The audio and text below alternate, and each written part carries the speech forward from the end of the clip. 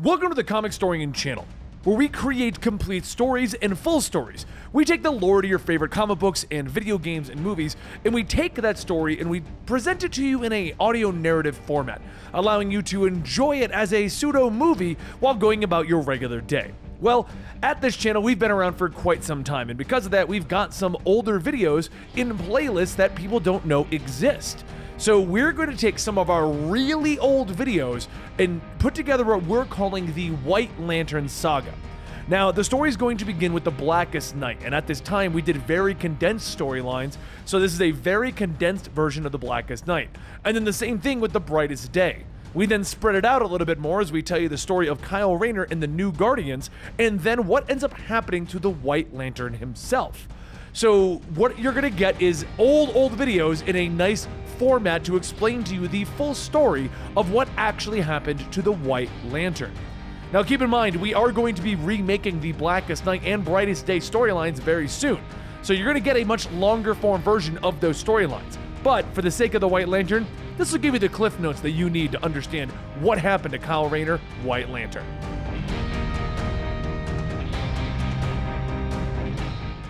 The Blackest Night happens after all of the lantern types have been discovered, and there's a prophecy that the Blackest Night will be arriving soon. The Guardians have been doing what they can to prevent it, but after a few Green Lanterns get swallowed up by the Black Lantern battery as it calls out for flesh, it's too late. It's awake and it picks William Hand as its anchor to the mortal coil. This is also taking place during the period in which everyone thinks that Batman is dead, but he's actually traveling through time.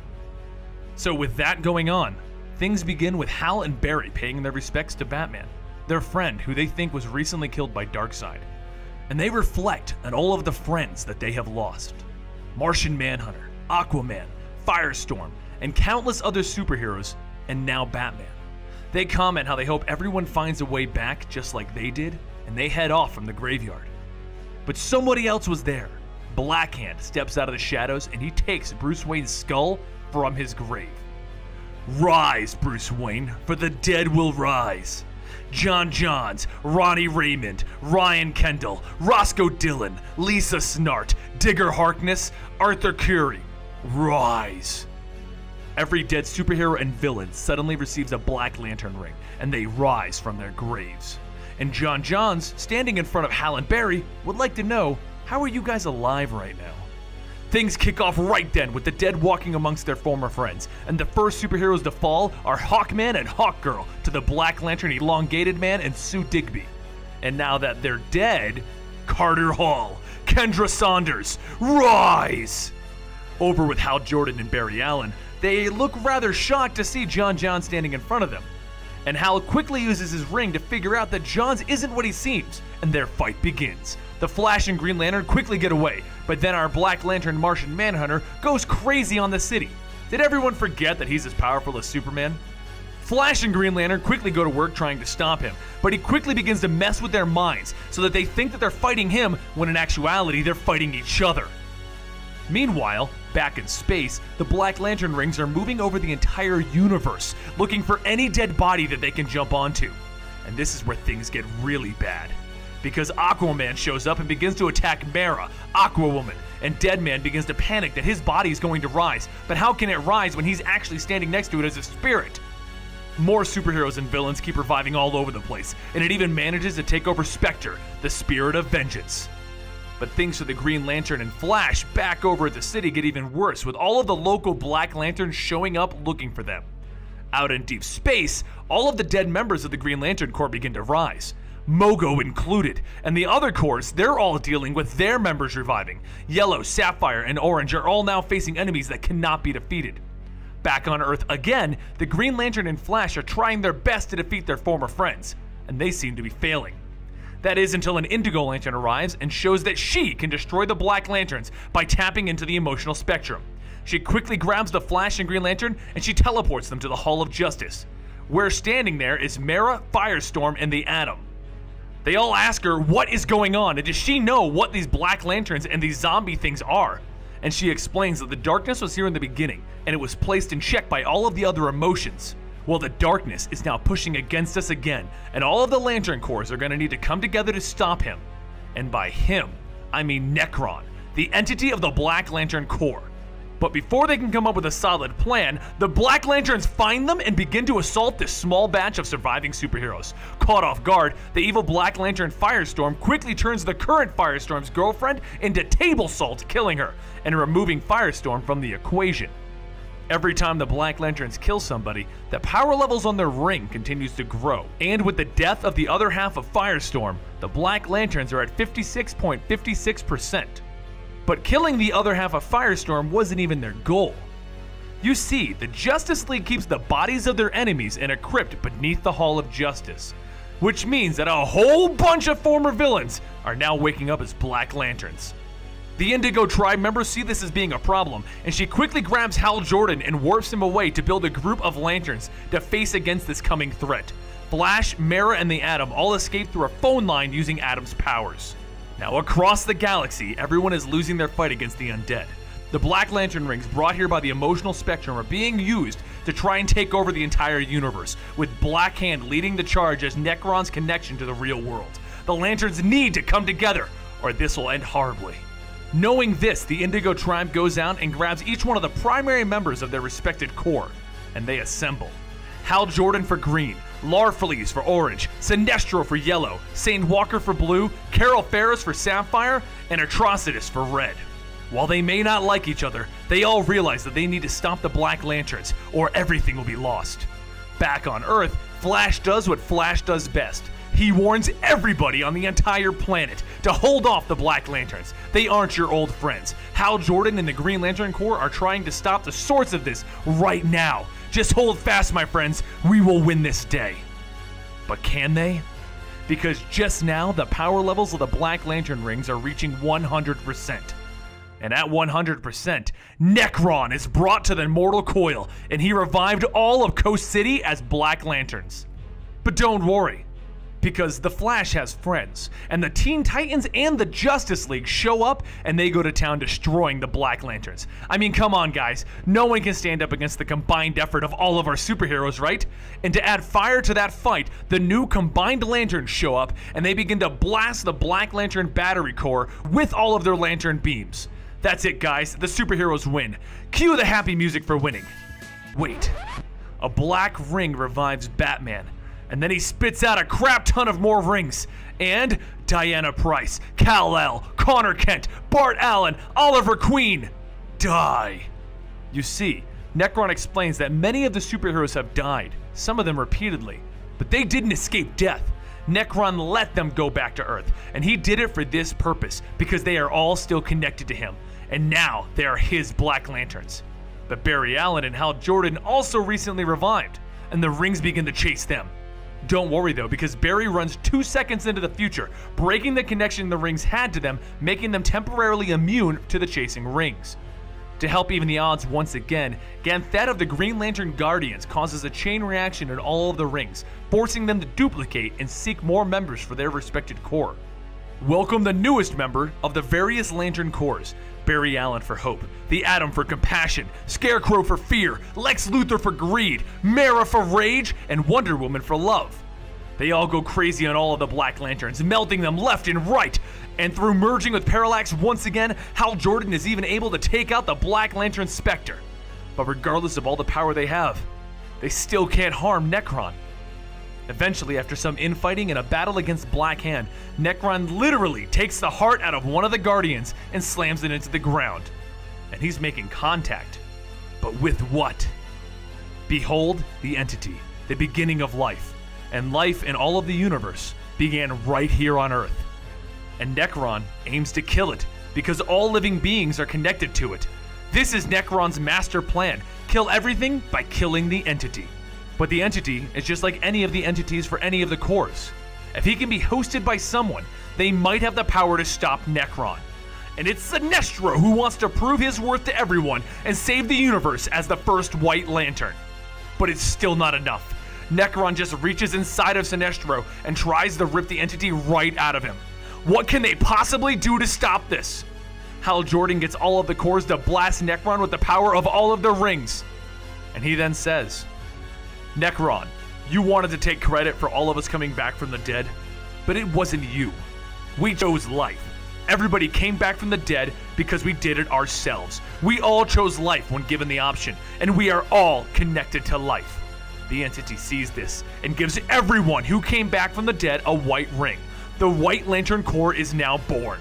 The White Rings go even further and they revive William Hand back to humanity, which is Nekron's connection to this world. And lastly, it revives everybody who rose first Aquaman, Deadman, Hawkman, Hawkgirl, all of them are back. And with no connection to the mortal coil any longer, Nekron is defeated by our superheroes choosing life.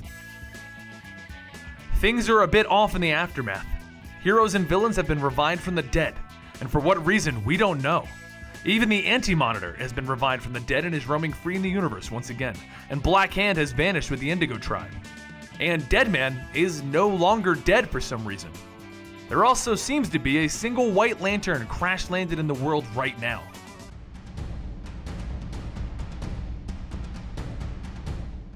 I need you to understand the Lantern Corps and their history. Everything for the Lanterns, it came to a head in the Blackest Night. I need you to understand that all the Corps had a prophecy, a purpose, and a goal. They all knew about the Blackest Night and they all knew it was coming. But the Lantern story, it doesn't end there. The Corps didn't close their books and turn in their rings. One short individual, blue in nature, begins walking through this temple, talking to himself. He needs you to understand that the future is now unwritten. The universe has endured its horrible night and it entered a new day, the brightest day. My day. I wrote that in the oath so long ago for a reason. Before the Green Lantern Corps, before the Manhunters, I protected the universe under the watchful eyes of the Guardians, and I will do it again. Not even Hal Jordan will stand in my way. As he enters a room with every Corps listed out, we see where Parallax went after he escaped in the Blackest Night. We see what happened to him. This person, this blue individual, has the entity that makes up the Fear Corps, Parallax, held captive. Hal Jordan and Carol Ferris are celebrating the fact that they're alive and well. They have just stopped the end of the universe 24 hours ago, and they saved everyone. So what do two pylons do to celebrate? Well, they hit to the skies and they hit new limits. That is until Sinestro destroys both jets as his way of saying hello. Hal and Carol whip out their rings to get ready for a fight, but Sinestro stops them. I'm not here to fight. I found the White Lantern and the entity, and it's asking for you, Hal. But while Sinestro is explaining where the White Lantern is, we discover that oddly, Larfleeze is on Earth looking for the fictional Santa Claus. St. Walker is helping bury the dead from the Blackest Night, and one of the Guardians, along with Guy Gardner, is explaining to Atrocitus that he's needed on Earth for his entity. So Hal, Sinestro, and Carol all head to New Mexico, where the White Lantern is just sitting there, all by itself. No one knows what it is or where it came from or even why it's here. So they each put a little effort into lifting it and discover that no one can, almost like it's the sword in the stone. But when they decide to lift it off the ground together, that's when something happens. That's when the White Lantern speaks. It cries out to the three lanterns standing in front of them Help me live! Around Hal, Sinestro, and Carol appears the constructs of everyone the White Lantern has revived, and it tells Hal Jordan to find them. He looks around confused and he says, Who? And it states find the Predator, Orphodine, Adara, Proselyte, the Butcher, and Ion. And Sinestro realizes what this is. Hal, it wants us to find the entities, the entities for each Corps. The problem is, my listeners, Hal, Sinestro, and Carol are already behind the curve as our mysterious blue skinned individual from the start is already at the location of Ion, the entity for the Green Lantern Corps and the entity for willpower. Ion is actually being kept by one of the noblest of the Green Lantern Corps members, and the power is being used to keep his son powered up. Our mystery person then takes Ion and he jails him up alongside Parallax. Well, while this was going on, Hal discovered that Atrocitus is on the planet Earth and he heads over there to discover why. After a few blows are exchanged in what also involves a cameo by Lobo, Hal discovers that Atrocitus is here to get his entity, the Butcher. And he explains that he is here for the entity because someone is capturing them all. Someone is traveling the universe to trap each entity and currently already has Parallax and Ion. Atrocitus then explains that the rest of the entities are all trapped on Earth right now looking for new hosts. He then takes off, so Hal realizes that Carol, Sinestro, Atrocitus, Larfleeze, Saint Walker, and himself are all going to need to team up to capture these entities for their own protection. And while he and Carol are both worried about how deadly they can be, Carol says, maybe they're like the Corps, and maybe they aren't all bad. During the discussions with Atrocitus, though, our mysterious villain has arrived on Earth, and he's talking to an old Green Lantern villain. If you help me, I'll help you, Hector Hammond. So our journey to assemble the Corps begins with Hal Jordan flying to Minnesota. You see, the local police have been reporting about a dog-looking monster going into people's houses and stealing things, and then he holds up in the local forest. So Hal takes a stroll through the forest until his ring warns him that the light of Avarice is closing in around him. Hal looks around worried and he realizes that the light of Avarice is just Larfleeze's constructs putting up Christmas lights? He throws a few constructs at the Orange Lantern goons and they flee, leading him right to Larfleeze, whom he finds hunched over a desk writing a note. He asks Larfleeze what he's doing on Earth, and Larfleeze just says, I'm writing. What does it look like I'm doing? Now I'm very busy, Green Lantern, go away. But Hal's not to be brushed off so easily. No, I mean, what are you doing on Earth? I live here now, Larfleeze says matter of factly. Well, Larfleeze explains that he wants to live on Earth because here everyone shares his greedy urges, and he wants to stay here until Christmas because that's when Santa Claus arrives. Side note, if you want to know what happens with Larfleeze and Hal for Christmas, now that he wants to meet Santa Claus, check out our Orange Lantern Christmas special, because there is a story there. Anyway, Hal shrugs off this weird desire to be here and asks Larfleeze about his entity. Does Larfleeze know where Orphedyne is? Larfleeze just holds up his lantern and says, I have him trapped in my lantern. Hal is a little surprised that that's exactly where the entity is, and he explains to Larfleeze that they're trying to save the other entities from something that's trying to kill them. But Larfleeze just looks in awe. What do these entities do? But Hal ignores him. Can you show me how you trapped Orphedyne, he asks. And just then, the orange lantern is taken from Larfleeze and it floats over to Hector Hammond. Larfleeze freaks out, that's mine! And he begins to throw as many orange constructs as he can at Hammond to the point where he's actually getting in Hal's way.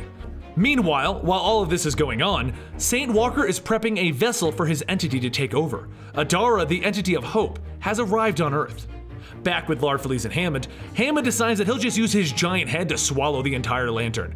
And while Larfleeze can't believe that this guy actually ate what was his, a voice inside of the lantern says through Hammond, it's time for a makeover.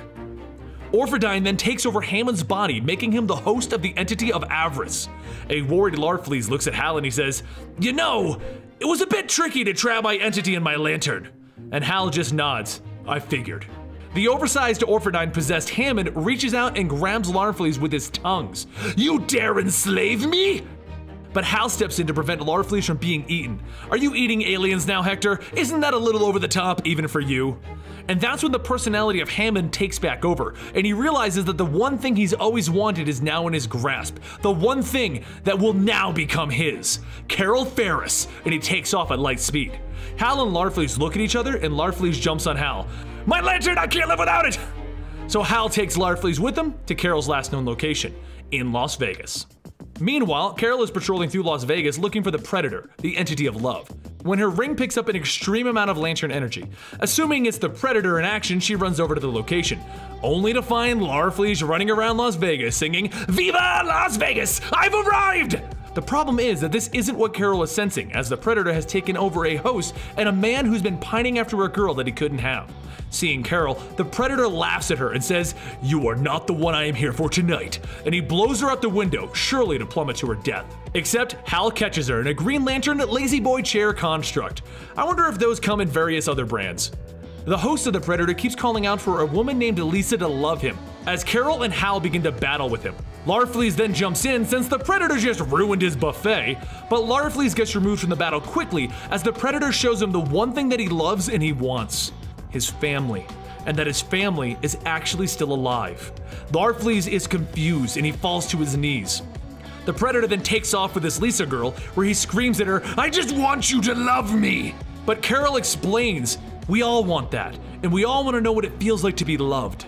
This forces the Predator to stop in his tracks, and Carol reaches in, stating that she wants the same thing. She then kisses the host of the Predator, which pushes the Predator entity out of the host, And then the Zemarians use this chance to teleport Hal, Carol, Larfleeze, and the Predator to their homeworld.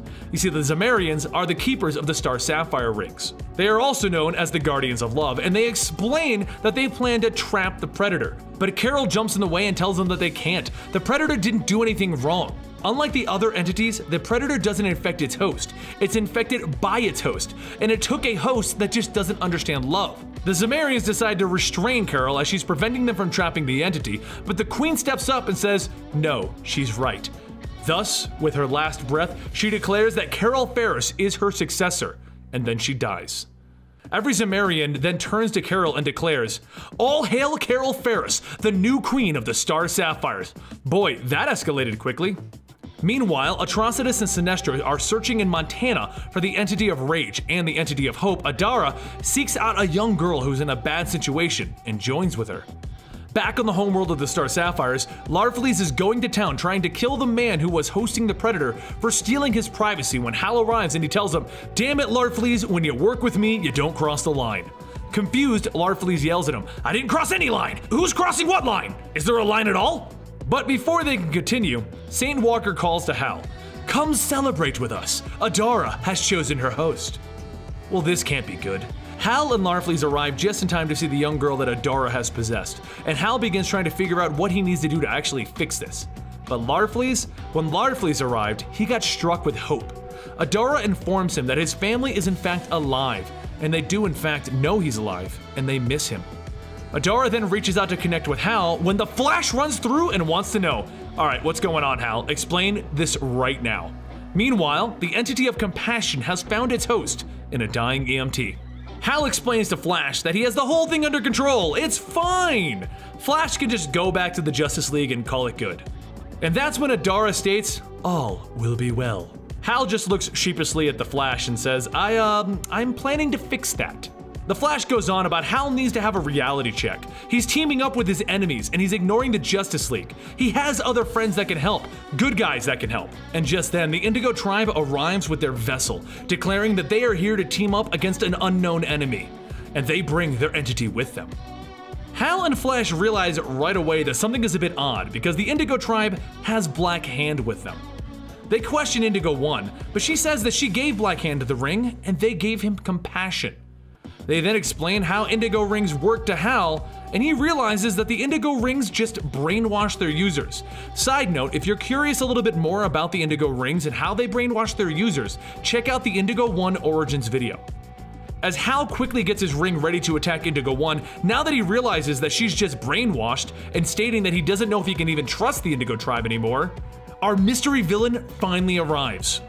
But he isn't alone. He comes in riding Parallax, the entity of fear, and he sends it into Flash to possess him.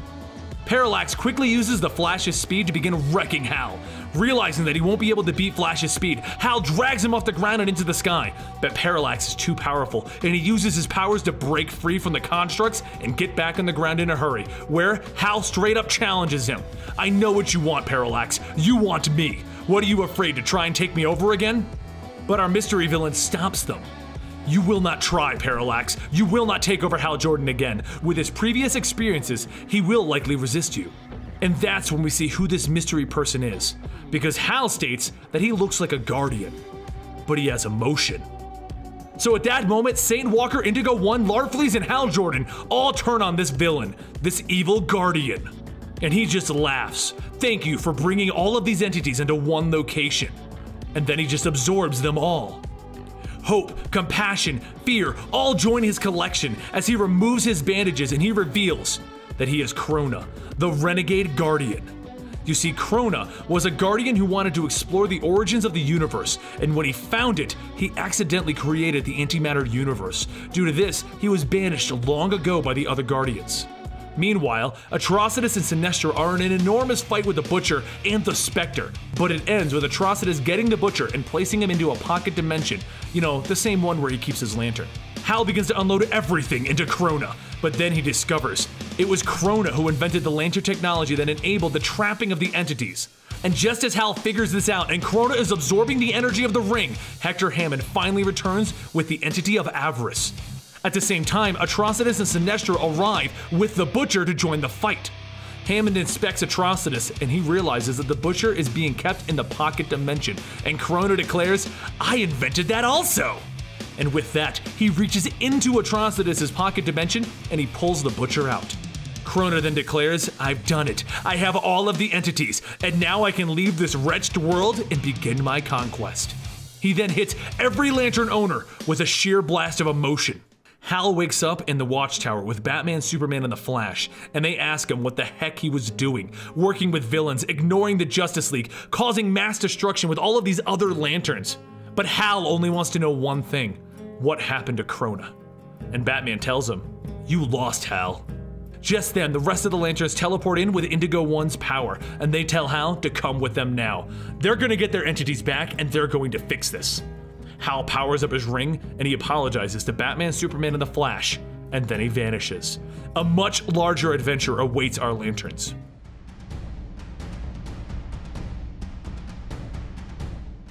Our story begins with a member of the Yellow Corps tormenting space pirates until his ring removes itself from his hand and it takes off into space, claiming that he's been decommissioned.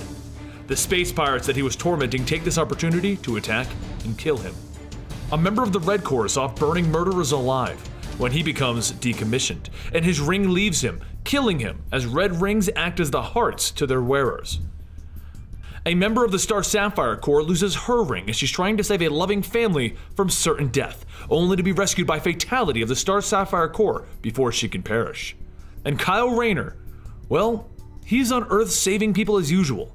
And after a brief argument with a kid about his choice in costume, Kyle's day gets a lot more interesting as a blue ring arrives declaring, Kyle Rayner of Earth, you have been chosen. Followed quickly by a yellow ring, a red ring, a sapphire ring, an orange ring, and an indigo ring. Kyle Rayner of Earth, you've been chosen. And Kyle simply declares, Well, this can't be good. If only Kyle knew how right he was as Arkillo of the Yellow Corps jumps in to get his core's ring back. And then he gets sucker punched by an enraged Bleez of the Red Corps. Fatality of the Star Sapphires and Munk of the Indigo Corps both teleport in, and they tell Kyle to give back what he's stolen. Each Corps begins their onslaught against Kyle as Bleez spews napalm blood all over the bystanders, requiring Kyle to save them. And Arkillo throws Kyle through the ground and into the subway system. This entire time, the rings are circling around Kyle, and everyone is trying to grab their respected cores back. But once they do, they get hit with a charge, and the rings declare feedback overload.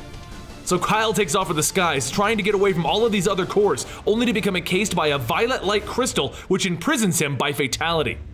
But that won't stop Kyle, because his ring begins to declare its power levels are rising 70%, 80%, 90%, 100%, 110%, 120%. Kyle breaks out of the crystal and he realizes that this can only mean one thing. Saint Walker has arrived to aid his friend, and he lets Kyle know that he is here to see what's going on with the blue ring. But that doesn't matter, because all will be well.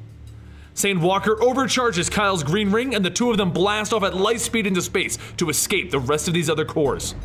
Kyle tells Saint Walker that they're gonna go ask Ganthet of the Guardians of the Universe what's going on, and the two of them travel through space. Now, while Kyle and Saint Walker travel through space, I want to explain something. Ganthet is probably the only friendly Guardian as he understands what needs to happen, and he wants to see the universe be taken care of properly. While the rest of the Guardians just want straight order regardless of the cost, Ganthet is willing to embrace his emotions and allow them to help him in making the right decisions. He is the Guardian who handpicked Kyle, and he is the Guardian who started the Blue Lantern Corps of Hope with his fellow Guardian Sayd. Both Kyle and Saint Walker view him as sort of a father figure, while the rest of the ring bearers decide that they're going to give chase to Kyle and get their rings back, just as Kyle and Saint Walker arrive on Oa. Kyle finds where Ganthet is located and he heads to the main Guardian's chamber. A smile forms on Kyle's face as he sees Ganthet, and he heads over to see him and ask him what's going on, Ganthet. I haven't heard from you and I was worried about you. But Ganthet replies, you should only worry about your sector, Lantern Kyle. Kyle looks puzzled. What's wrong with you, Ganthet? It's me, Kyle! And the other Guardians reply with, There is nothing wrong with Brother Ganthet. His emotions were impeding his judgment, so we removed them for him. And Kyle snaps at them, You lobotomized him? And the Guardians reply with, No, he is still fully capable. Now explain to us why these rings have sought you out. And Kyle just yells, I don't know! That's why I came to you, Ganthet! And just then, every ring slips onto Kyle's fingers. Kyle looks very worried, and he should because the next thing that happens is every ring welcomes Kyle to their Corps, and he wields every ring at the same time. A blast of energy shoots out of Kyle, knocking back all of the Guardians, and the Guardians stand there and state, This is impossible. No human can harness every emotion. Filled with rage, greed, willpower, hope, compassion, love, fear, Kyle overloads on all of it, and he loses control of every ring. They all shatter except for the orange ring, and he falls to the ground exhausted. Ganthet comes over and declares, Krona tried the same thing, Kyle, and he was an immortal. You couldn't hope to control every ring. And just then, the orange ring reveals its true nature as Glomulus. It was never an orange ring. It was simply another member of the Orange Lantern Corps, which is just a construct of the Orange Lantern Corps. Kyle starts to wake up and he realizes what's going on and he simply says, This can't get any worse. And just then, every member of the other Corps come barreling in. The Guardians of the Universe go to town, removing all of the threats that the Ring Bearers pose to them. Well, that is until Larfleeze himself comes through the ceiling, riding atop his personal guardian, Sayd, declaring, You are all mine! Kyle asks Larfleeze if he plans to fight the Guardians alone, and Larfleeze replies with, Of course not! I expect my new Guardians to chip in! So the ring bearers all get up and they prepare to get involved in this battle with Larfleeze when Sayd gets up and tells Kyle that if he wants to know why the rings were attracted to him, he needs to leave right this second. But Kyle refuses and he says, I can save Ganthet! And he jumps right back into the fight, telling Ganthet to let him help. But Ganthet tells Kyle, Do not worry about me. You can't rely on the other Corps for help. Stay here and let us Guardians study you. Let us figure out why you're attracting the other rings. Trust me. One more time, Kyle. Please. But Kyle sees that the Ganthet he knew is gone, and he blasts Ganthet with all the willpower he has, declaring, From now on, I forge my own future. He runs over to Munk and he tells him to teleport all of these new Guardians out of here. They need to go. And boom, just like that, they all end up on Okaara, the homeworld of the Orange Lanterns and of Larfleeze. Bleez immediately takes off for the Red Lantern homeworld in a hurry, and Arkillo is furious at Munk for forcing him to retreat. But after Saint Walker calms down Arkillo, they have a chat about what's going on. Sayd and Larfleeze explain why his ring wasn't a ring and why the rings went to Kyle. You see, Larfleeze and Sayd felt something pulling at the rings, trying to get the power out of the rings. Larfleeze felt that this was happening because he always holds on to his lantern. So he sent Glomulus out to pretend to be a ring to see where the others were going. He then sent Sayd to the location that they were being pulled from. And what Sayd found was an entire solar system sized ship that looked like a solar system coming through a white dwarf star. So, Arkillo, Fatality, St. Walker, Kyle, Munk, and Glomulus all head to the solar system sized spaceship to investigate. What they discover is that each of these planet sized ships is actually a planet on the inside. They've got a remade Tamaran, they've got a remade Okaara, as well as other well known planets in the Vega system, all recreated right down to the inhabitants.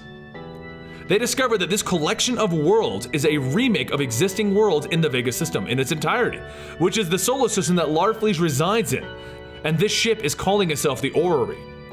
This entire ship and this entire remade solar system is presided by one man, the Archangel Invictus.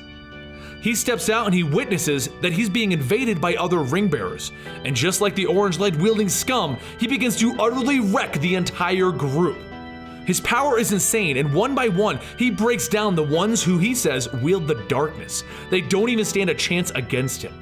Until he reaches Saint Walker, St. Walker uses his power to see into Invictus's mind to bring him hope and try to fix his attitude.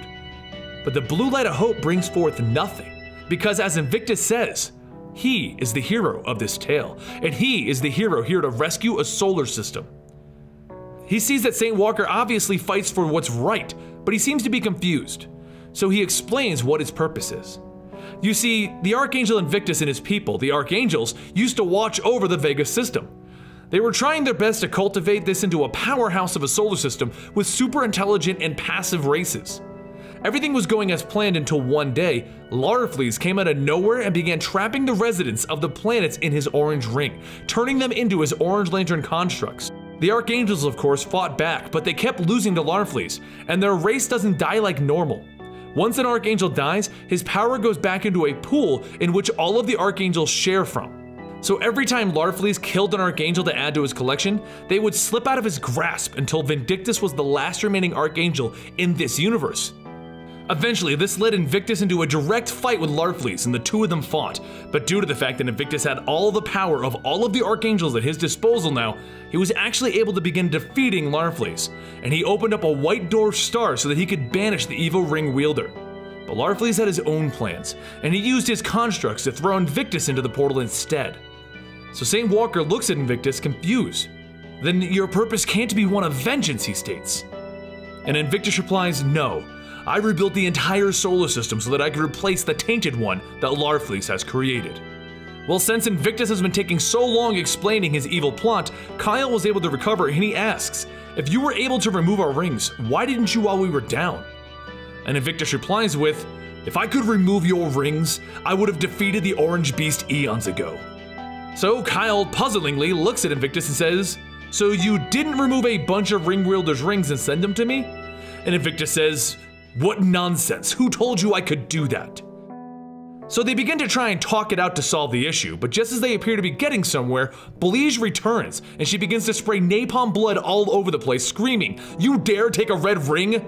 Of course, this makes Invictus mad as he thinks that their plan was to distract him. The fighting begins again, but it doesn't get much further as Invictus is still all powerful and still able to remove the threat of the ring bearers without a problem. After a little bit more fighting and a little bit more talking, Kyle finally talks down Invictus again. And Invictus agrees to stop on one condition. Kyle and these new Guardians, they'll kill Larfleeze for him. Well, the new Guardians leave the orrery and they try to decide what they're gonna do now, but first, they need to go charge their rings. A few things happen during this period, such as Arkillo learning that he is one of the last Yellow Lanterns and getting the Weaponer of Qward to work with him because Sinestro has gone through and destroyed the Yellow Power Battery and he disbanded the Corps as a Green Lantern. St. Walker returned to his homeworld to discover that it was being assaulted by the Reach, which is the homeworld of the Blue Beetle armor. The Blue Lanterns lost their battle that day, and the Blue Lantern power battery was destroyed as they tried to get it off of their planet. But since the Blue Lantern world was hidden from all, St. Walker assumes that it was Larfleeze who gave out this location. So he decides it's time for Larfleeze to answer for all of his crimes. The group comes back together eventually and they decide that they are going to go get rid of Larfleeze. It's time for him to answer for everything he's done. I mean, he's an evil guy, he's killed billions, and now a whole solar system is about to die because of his actions. While they may not kill him, it's time for them to remove this problem from the Green Lantern lore for good. So they come up with a masterful plan in which they'll sneak in and attack Larfleeze. But honestly, none of it works because Glomulus is one of Larfleeze's constructs, so anything that Glomulus knows, Larfleeze knows. Kyle looks hurt and he looks at Glommy and he says, I thought you were one of us. I thought we were friends, Glommy. And Glommy just looks sad that he feels he betrayed Kyle. But Larfleeze replies with, I have friends too, and you'll be joining them today. And he begins his attack on the new Guardians. Meanwhile, at the edge of the Vega system, Invictus arrives and he announces that he's here to get rid of the entire solar system for its crimes and its debauchery. He will abide this no longer, and with that, he destroys an entire planet and replaces it with his own. Back with Larfleeze and the New Guardians, the attacks continue with Larfleeze just laughing as his toys beat on these New Guardians. And while this is all going on, St. Walker demands to know why Larfleeze sent the Reach to destroy his homeworld. But Larfleeze just laughs. I didn't send anyone after you, Blue Lantern. If I wanted to destroy you, I wouldn't have shared that pleasure with anyone. But Kyle realizes Larfleeze's one weakness, so he tells Munk to channel the energy of avarice back on Larfleeze, burn him with his own greed. Furious, Larfleeze smacks Kyle over the head with his orange power battery, and he tells Kyle to prepare to join his collection. But just then, Glomulus jumps in and screams, Master, no! Larfleeze just bombards Glomulus with his power and he swallows him back up into the ring, and he tells him, You stay dead this time. Furious that one of their own has gone down, the Guardians rally together and they attack Larfleeze once and for all. They're doing this for Glomulus. They're doing it as a team, as the new Guardians. And Larfleeze calls out, My pet Guardian! Save me! Save me, pet Guardian! But Sayd has had enough, and she joins in declaring that she was never Larfleeze's pet, and he will stop hurting them after all she did to bring these new Guardians together. And then Kyle realizes Sayd is the ring thief. Sayd started this whole thing, and he simply stops and asks, Why? And she replies, You of all people should know why I did this, Kyle. But the rest of the new Guardians also stand firm and they ask, I think we'd all like that answer, Sayd. But just then, Invictus's floating planet ship looms overhead, and the group decides that they might want to finish this first. Since their fight with Larfleeze is obviously over, Kyle asks Larfleeze to join them in this fight. They're gonna need the power of Avarice to join them since Glomulus is no longer with them. It's going to take all of the colors of the spectrum to stop Invictus. They all hurry to the latest planet that he's planning to attack, and Invictus himself begins the battle with them by jumping down from his ship and attacking Larfleeze straight away. One billion years I have waited for my revenge. And the rest of the new Guardians? They stand there and they watch. They all agree that Larfleeze deserves just a little bit of a beating and eventually they jump in to save him. They use all of their powers combined for an epic battle against Invictus, and while they are battling against him, they have the Weaponer of Qward move the orrery away from Invictus, traveling farther and farther away. And everyone realizes that Invictus's power is coming from his solar system sized ship. With it leaving, he has no powers anymore. And he realizes this too, but he realizes it a little too late, as they continue to move it away and he begins to fade into nothing fade out of existence, and he finally perishes. Larfleeze grabs Invictus and says, I finally got an angel! And he takes off for Okaara again. But the rest of the lanterns stop right there and they look at Sayd and they demand to know what's going on. Sayd explains that when Ganthet's emotions were taken from him, his mind cried out across the galaxy, and Sayd felt the most intense and overwhelming thing ever. She felt them extinguishing his soul. She was the only one who knew what happened to her beloved, so she made a desperate plea and she took the rings from the weakest members of each corps and she sent them to the one person who loved Ganthet as much as she did. She sent each ring to Kyle because Ganthet chose Kyle originally because of his potential to command every shade of the emotional spectrum, something the Guardians couldn't even do. She was hoping that Kyle would learn to control every emotion and tap into ultimate power and save Ganthet. But the rest of the Corps don't like what they're hearing, and they decide that this group was poisoned from the start by Sayd so they all leave.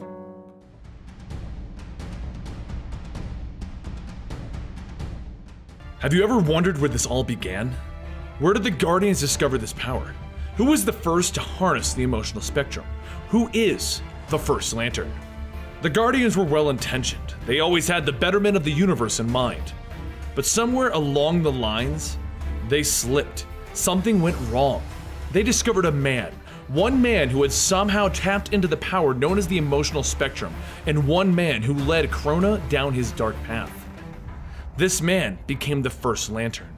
This man became the prisoner of the Guardians as he was deemed too dangerous to just let roam the galaxy. The Guardians went on to use his power to start their Green Lantern Corps, and now they've decided to tap into his power one more time, this time to create their third army. You see, the Green Lanterns have been deemed a liability. They're just too impulsive. They make their own decisions and they don't listen to the Guardians. They're driven by heart. After many mishaps in the eyes of the Guardians, they've decided to remove the Green Lantern Corps and replace it with this army, the Third Army. Quickly, we see the usefulness of this army as they create the first soldier. He jumps onto a nearby man and he absorbs him. He changes him into one of its own kind. It takes over his mind, it takes over his flesh, and it ejects the weakness of the Green Lantern Corps the heart. It erases any form of individual thought, and the only thing that remains is the eyes of the original owner, forever locked in a state of fear. So, where are Hal Jordan and Sinestro after our last adventure? Sinestro discovered the Book of Black and he took it back to what he calls his Batcave.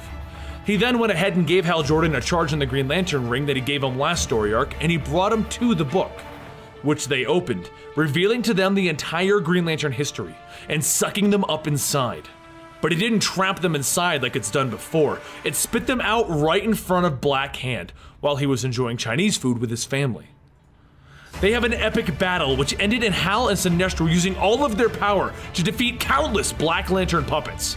With Hal Jordan weakened and defeated, Black Hand had an opportunity to kill him, but he held off as the Book of Black told him Hal Jordan will become the greatest of the Black Lanterns. So Black Hand let them get up, and their fight continued while he demanded to know why it said that. How can Hal Jordan be a Black Lantern? But Hal Jordan didn't know, so their fight continued until a force spoke through everyone's rings, every emotional spectrum ring, all of the colors all at once. Let me out! Something cried out through all of the rings, and it was the first lantern being awoken to be used as the Guardian's power source. Sinestro and Hal didn't know what that was, and they had bigger problems on their hands with Black Hand.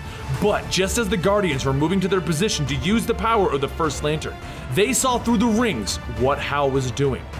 They saw that Sinestro gave Hal a ring and they were working together to defeat Black Hand, and they decided that this could become a potential problem. They thought they removed the problem known as Hal Jordan. So they instantly teleported there and protected Black Hand. And then they declare, Black Hand, you will be our new lantern and they overcharge him to max power. He turns his full power against Hal and Sinestro, and then Black Hand begins to suck them up into the land of the dead, the land of the Black Lanterns, the land that is in his ring. As they're getting sucked up, their rings both decide that they are dying, and they begin to try to pull away from Hal and Sinestro. But in an explosion of willpower and death, Hal and Sinestro vanish, and their rings take off for the heavens to find a new Green Lantern. The Guardians then teleport Blackhand into the Chamber of Shadows, where they were keeping the First Lantern, and they declare that he is now their power source. But the ring that was on Hal and Sinestro's finger, it remerges back into one and takes off at light speed to find a new Green Lantern. One without the intentions of the Guardians, one with the intentions of both Hal Jordan and Sinestro. It lands on a man named Simon Baz, and then a mixed message begins to play, which basically tells him, Stop the Guardians! But before he can do anything, the Justice League would like to know what he's doing with the Green Lantern ring. And as much as I would love to tell you this story, this is a tale for another day because it's Simon's origin story. So let's go across the galaxy. Now you see, Hal and Sinestro are luckily not dead. But they aren't in our universe anymore. They're inside the realm of the Black Lanterns, and without them, there's no one to warn the rest of the Green Lanterns. There's no warning as to what's coming. And because of this, the Guardians have begun assimilating the entire galaxy. With them reaching far and wide, they end up intercepting Guy Gardner and his Green Lantern Honor Guard. And as much as Guy Gardner tries to fight against them, he loses every single one of the Honor Guard. Due to this, Guy Gardner and the Honor Guard failed the mission that they were on, and when Guy went back to Oa to try and explain what happened, that these weird monsters arrived and took everyone, he was forced to resign his ring by the Guardians. All a part of their plan to ruin the Corps and its strongest members. But Salaak and Kilowog have been secretly watching this whole thing unfold, and they're trying to figure out how they can stop the Guardians, how they can prevent this from happening any further. But before Salaak can even do anything, the Guardians see him, and they come down hard, locking him up and removing any potential problem that he may possess. He yells out that you're giving up on life! And as they lock him away, they tell him, No, Salaak, we're saving it. Things can't get much worse. Hal and Sinestro are believed to be dead. Guy Gardner's been kicked out of the Corps. John Stewart has been sent on an endless mission to try and repiece Mogo together. And Kyle? Well, Kyle is out in space trying to master each of the rings. He's trying to learn every emotion to become a White Lantern, the ultimate power of the Lantern mythos. Now, he's aware that Hal Jordan has gone missing, and he knows that Ganthet is in trouble. And if you're curious as to how he knows all of this, check out our Green Lantern New Guardians video. But if only he knew how bad everything was, maybe he'd be trying to stop it right now. Because right this second, he's actually studying under Atrocitus, and while it takes some convincing, he masters the rage of the Red Corps. But while he's struggling to contain these emotions, he realizes that this journey isn't complete as he takes off to find Arkillo, and he learns how to control fear. And while this is going on, the Guardians travel to the homeworld of the Star Sapphires. You see, they know the danger that Kyle Rayner possesses to them, and they know that Carol Ferris is currently training him to take on all of the emotions of the spectrum. So while they can't track Kyle anymore because his ring is contaminated, they can find Carol and find Kyle that way. Kyle continues his journey by learning compassion, and then eventually he has to go get greed from Larfleeze. And after Carol promises to use her abilities to locate the one thing that Larfleeze wants, his family. He agrees to teach Kyle how to be greedy. But before they can make any real headway, the Guardians send in the Third Army because they tracked Carol to the location of Larfleeze.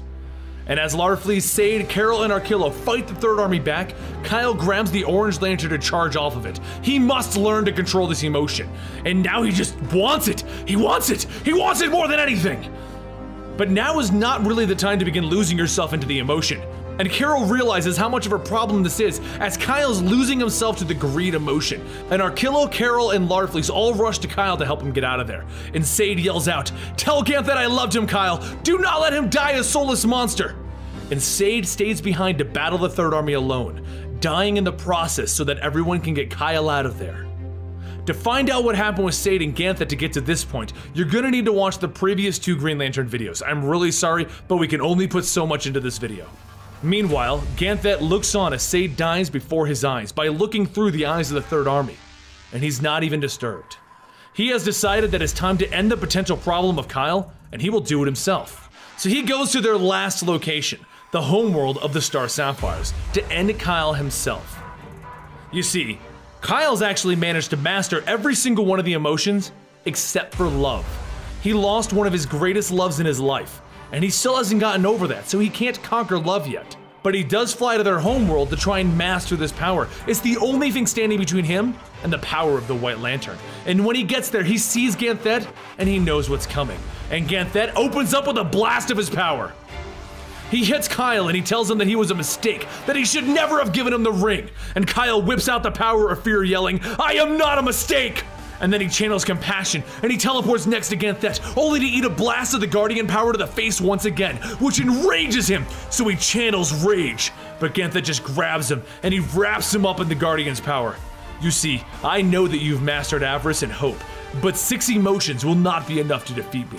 You are going to need love, and without love, you cannot win and it would appear that the Zamarons agree with Ganthet because they blast him with the power of love. And just as everyone is beginning to win, the Third Army descends on Zamaron, ready to absorb everyone there into their army.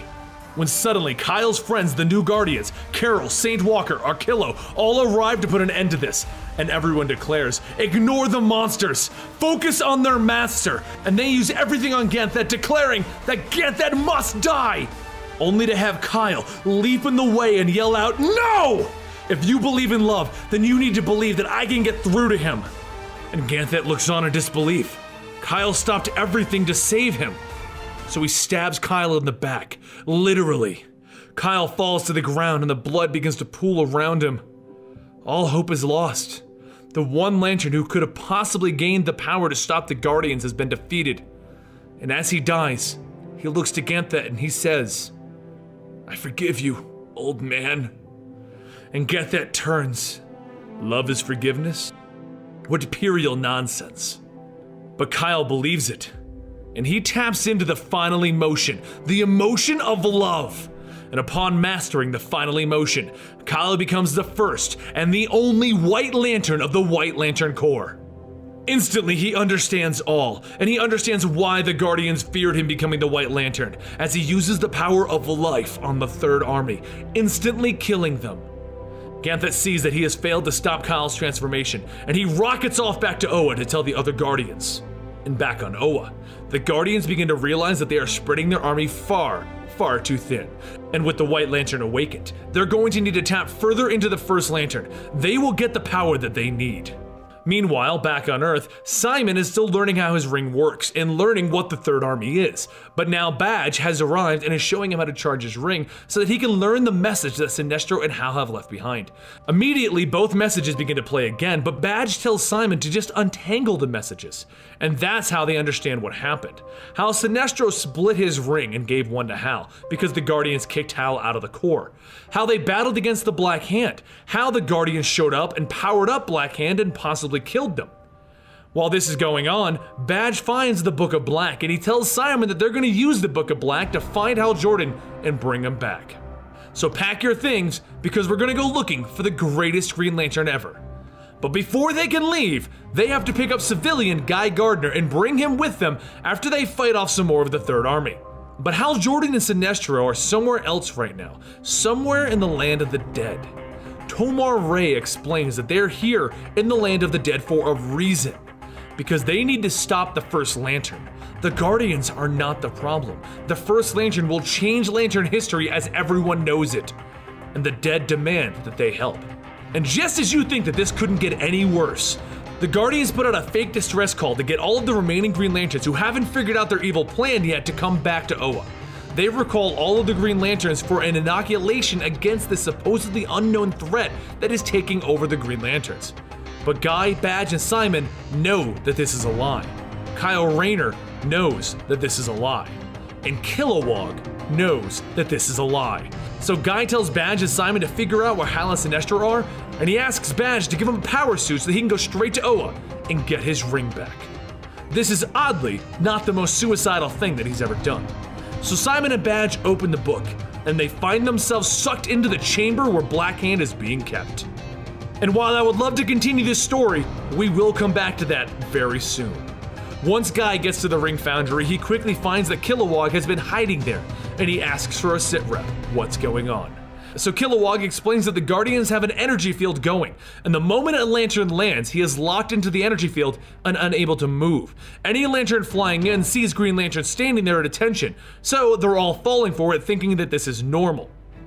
So, realizing that he's gonna need to try something drastic to get the Guardians off of the mainframe and allow Kilowog to warn every incoming lantern, Guy remembers one toy from an earlier adventure that's still lying around, and he attacks the Guardians head on using Krona's power gauntlet.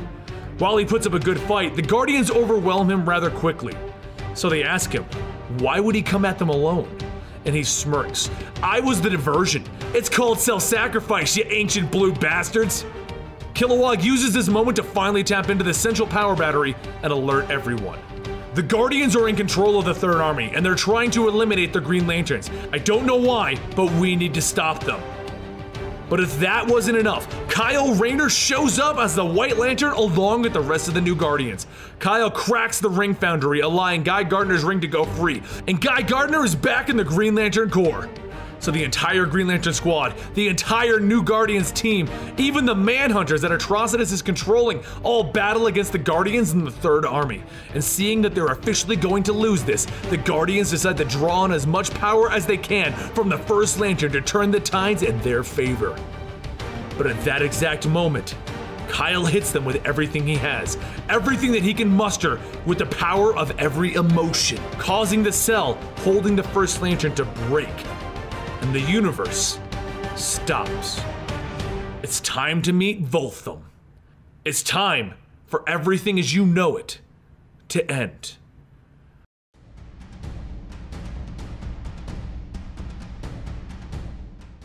When everything left off, reality ended. Everything ended. The Guardians leashed their power from a being known as the First Lantern, known as Volthoom. They created a third army of creatures to remove the Green Lanterns as the Green Lanterns had become a liability in their eyes. Just as the fight was about to be resolved, they tried to draw too much power from the First Lantern, and they broke his cell. He is now free, and he's not happy with the Guardians. They messed up the universe. The Guardians took his gift for granted. He arrived from another universe, and he showed them the true power of the emotional spectrum. They were afraid of it, and then they were afraid of the first lantern. So he takes Ganthet and he simply says, Let's see if we can fix this. And he pulls Ganthet apart like a deck of playing cards every moment of his entire life laid out before the first lantern. He sees the moment that they met. He sees the moment that they forged the rings. He sees the moment that Ganthet met Hal Jordan, the moment that the Red Lanterns were discovered. He sees everything, and he finds the moment that he's looking for, the moment that the Guardians decided to discard their emotions. He goes to that moment in Ganthet's history, and he has Ganthet convince the rest of the Guardians not to dispose of their emotions. What would happen if he did that? Reality itself would begin to shift, and the timeline would become altered, and a new future would be told. Back in the Chamber of Shadows, Black Hand and Simon Baz are talking about what they should do. That Simon Baz is looking for Hal Jordan. When suddenly, the history of the Green Lanterns instantly shifts. Black Hand is no longer Black Hand, and the ring that Simon Baz holds returns to the original owner, whom didn't die in this timeline, Abin Sur. That's right, that simple change in the history of the Green Lanterns, the Guardians keeping their emotions, changes everything, and the First Lantern has the power to make this happen. But things instantly snap back to normal with Black Hand and Simon Baz in the Chamber of Shadows. The First Lantern hits the ground and he realizes that he's been imprisoned far too long. He's going to need to recharge if he's going to permanently alter the history of the Guardians and the Green Lanterns. So he looks further into Ganthet and he sees Hal Jordan, Kyle Rayner, Guy Gardner, John Stewart, Carol Ferris, Saint Walker, and all of the other ring bearers. It's a good thing that Ganthet knows some individuals so full of emotional power that the First Lantern won't have any issues recharging his power. Meanwhile, back with Black Hand and Simon Baz, Black Hand looks at Simon. What did you do to me? Are you trying to trick me? If you want to find Hal Jordan so bad, why don't you join him?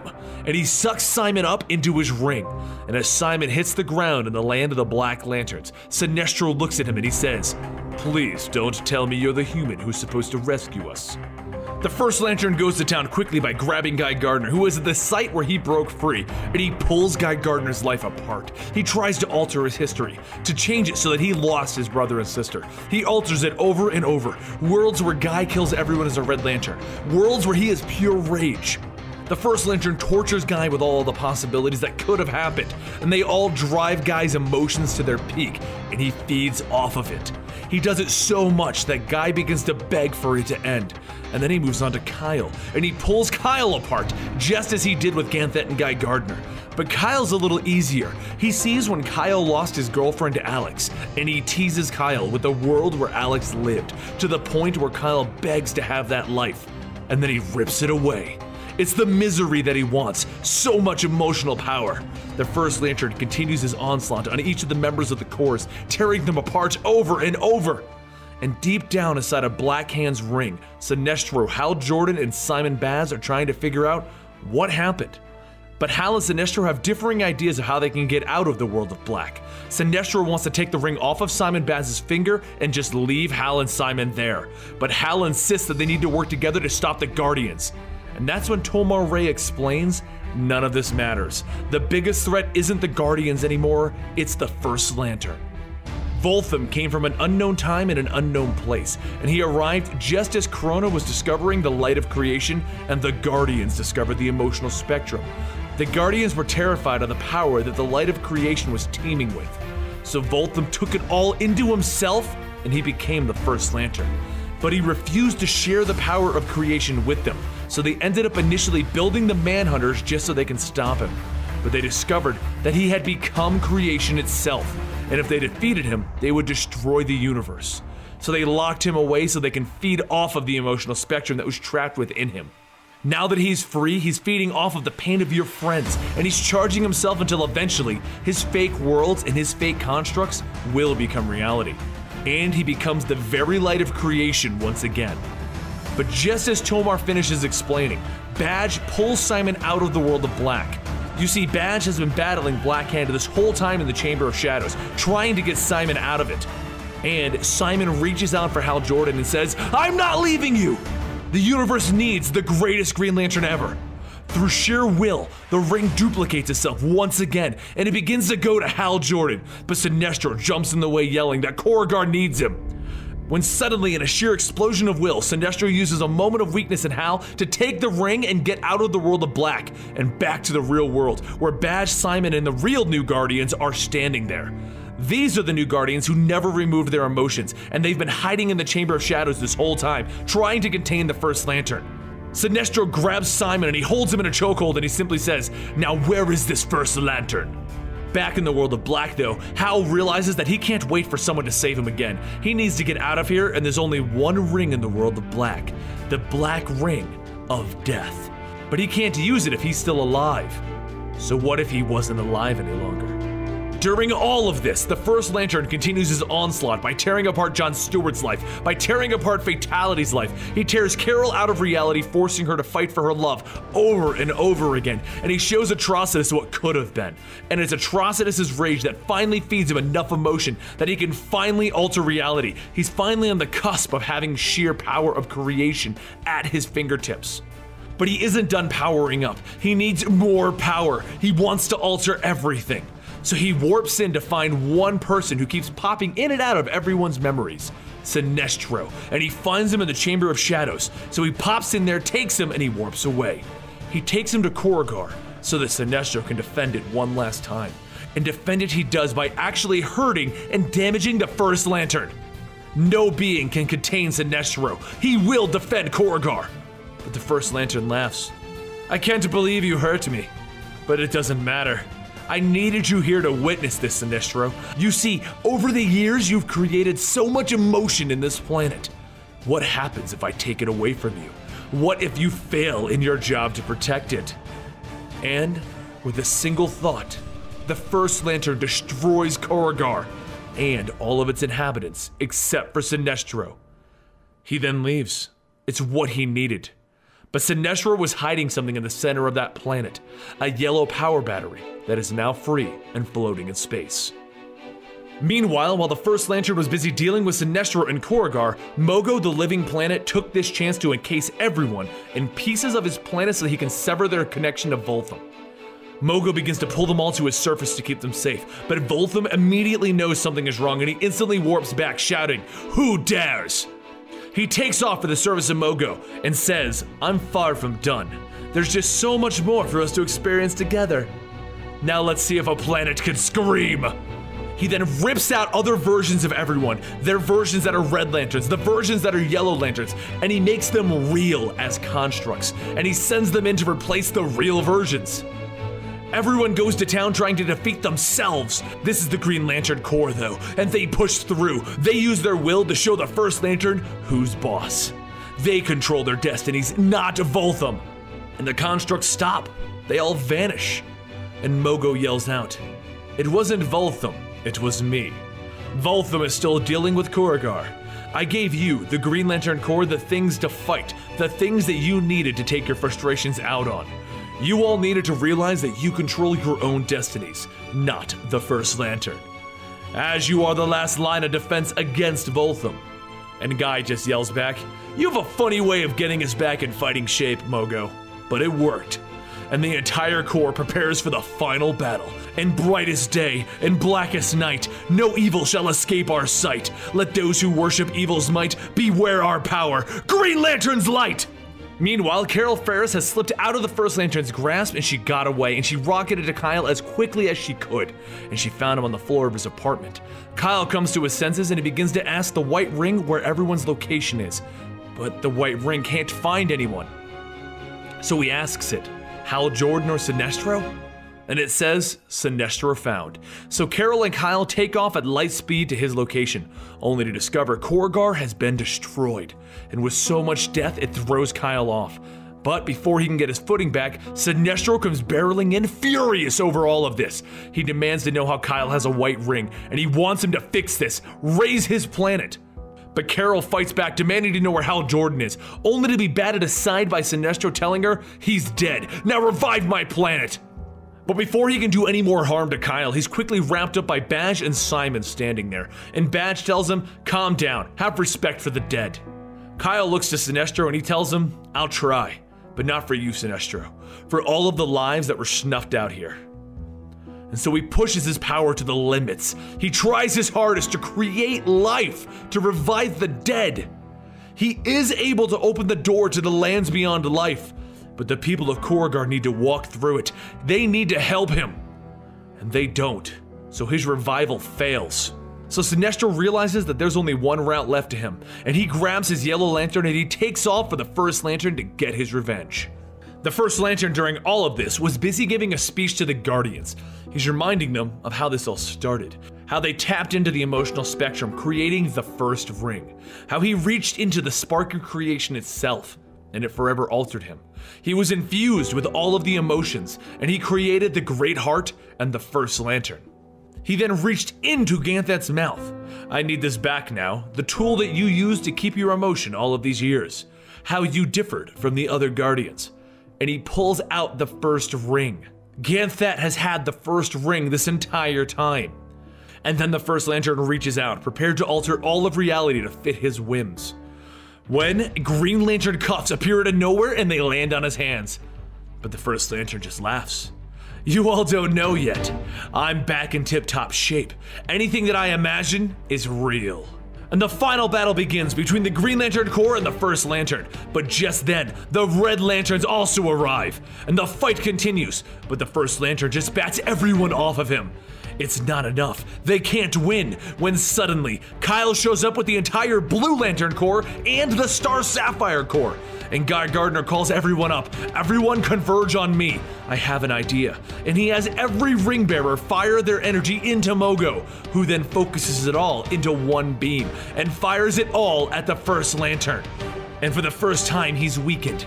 But it's not enough. You only delay the inevitable. I have seen my destiny, he tells them as he gets back on his feet.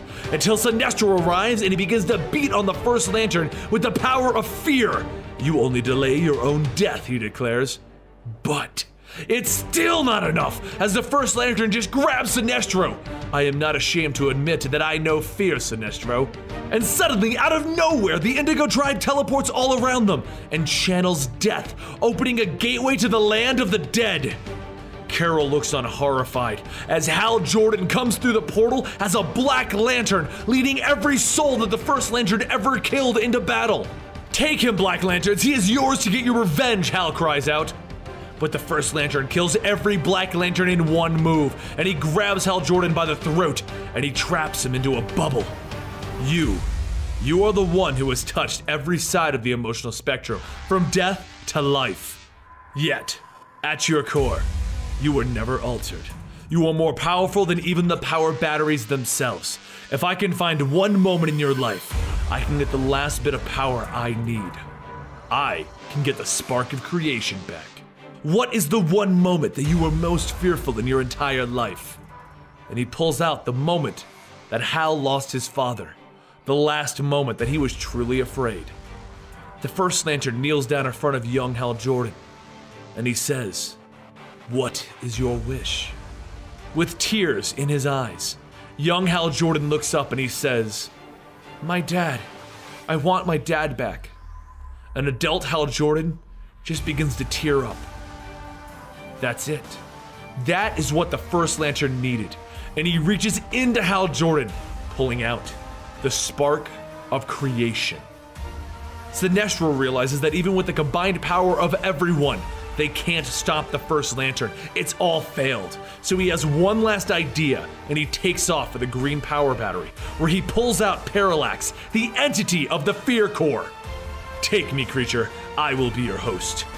And with the power of an entire Corps, Sinestro takes off right to the first lantern and he tears his heart out of his body. The Guardians all look on fearful, terrified of the power that Sinestro now possesses. And the first lantern just looks at him. You think of me as a petty lantern? I am a god! And seeing that Sinestro was going to need a little help, Hal Jordan decides that he'll bring the entity of his new Corps to the fight. Then he raises Nekron, the entity of death. Nekron begins the battle with the First Lantern, and using this opportunity, Hal Jordan bombards the emotional spectrum that is inside of the First Lantern, not the First Lantern himself. And with the power that he throws at him, he removes the emotional spectrum from the First Lantern. Otherwise, the First Lantern's death would destroy the entire universe. Hal Jordan continues to lay on him until the First Lantern becomes human again, and Nekron kills him. Hal Jordan lands in front of his younger self and he tells him, Don't be afraid. Everything is going to be okay. I've saved the day. And he absorbs his younger self back into himself. And a green ring senses it. Hal Jordan of Earth, you have the ability to overcome great fear. Welcome to the Green Lantern Corps. Without a person to host his entity any longer, Nekron fades back to the land of the dead. But we're not done yet. Sinestro takes off to kill the Guardians, and Hal Jordan chases after him. The two titans of the Green Lantern mythos begin their final bout, and Hal Jordan tells him, I'm not going to kill you. You can still come back from this. I've seen what kind of Green Lantern you can be. And Sinestro tells him, The Guardians have to die. Everything is their fault. The Manhunters, the Third Army, even the whole First Lantern disaster. They destroyed Korugar with their poor decisions. They deserved to die for what they did. And Hal Jordan stops. Deserved? You see, Atrocitus has already killed the Guardians. Their first creation, the Manhunters, destroyed his entire sector, and it's left him this rage filled monster since we met him. All he's wanted is to get his revenge, and he got it. But he did leave one Guardian for Sinestro, Ganthet. And as Sinestro went to kill Ganthet, he asked him, Won't you fight me? Hal looks at Sinestro, and Sinestro looks at him. I'm leaving, Hal. All of this is done. You'll never see me again. And Hal stops. I want to ask you one thing. Were we ever truly friends? Sinestro stops cold to that question. That's the tragedy of all of this, Jordan. We will always be friends. And that is it. The other Guardians, the one with emotions who have been trapped up with the First Lantern this whole time, they've decided to take over the Green Lantern Corps by learning from the greatest Green Lantern's example, Hal Jordan. And combined with the power of the Star Sapphires and the Blue Lanterns, everyone begins to rebuild Oa. The emotional spectrum itself has been spread out into the universe so that the Corps can use it. There is no First Lantern, there is no one person containing everything, and there is no all powerful being any longer. This is the end of our tale, my friends. But before we close this chapter in our stories, as massive as it is, there's one last thing a secret only you, me, and four other people in the galaxy will ever know. You see, when Sinestro left, he went to one place where no one would ever find him. He didn't kill Ganthet, he brought Ganthet here with him, and he asked Larfleeze to bring Sayd. Ganthet and Sayd look at each other, overjoyed that they both survived. They don't need to know how they survived, how Sayd survived the Third Army, or that Sinestro didn't actually kill Ganthet. With tears in their eyes, they embrace, finally, getting to be together. And Larfleeze looks at Sinestro and he asks him, What do I get for this? Sinestro tells him, You get the greatest secret in the entire galaxy, Larfleeze. Knowledge that Ganthet and Sayd survived and are together. Larfleeze looks a little puzzled, and he says, Well, that doesn't taste so good after rat wheel cheese. But Sinestro just leaves them all there, to be together, forever, in secret.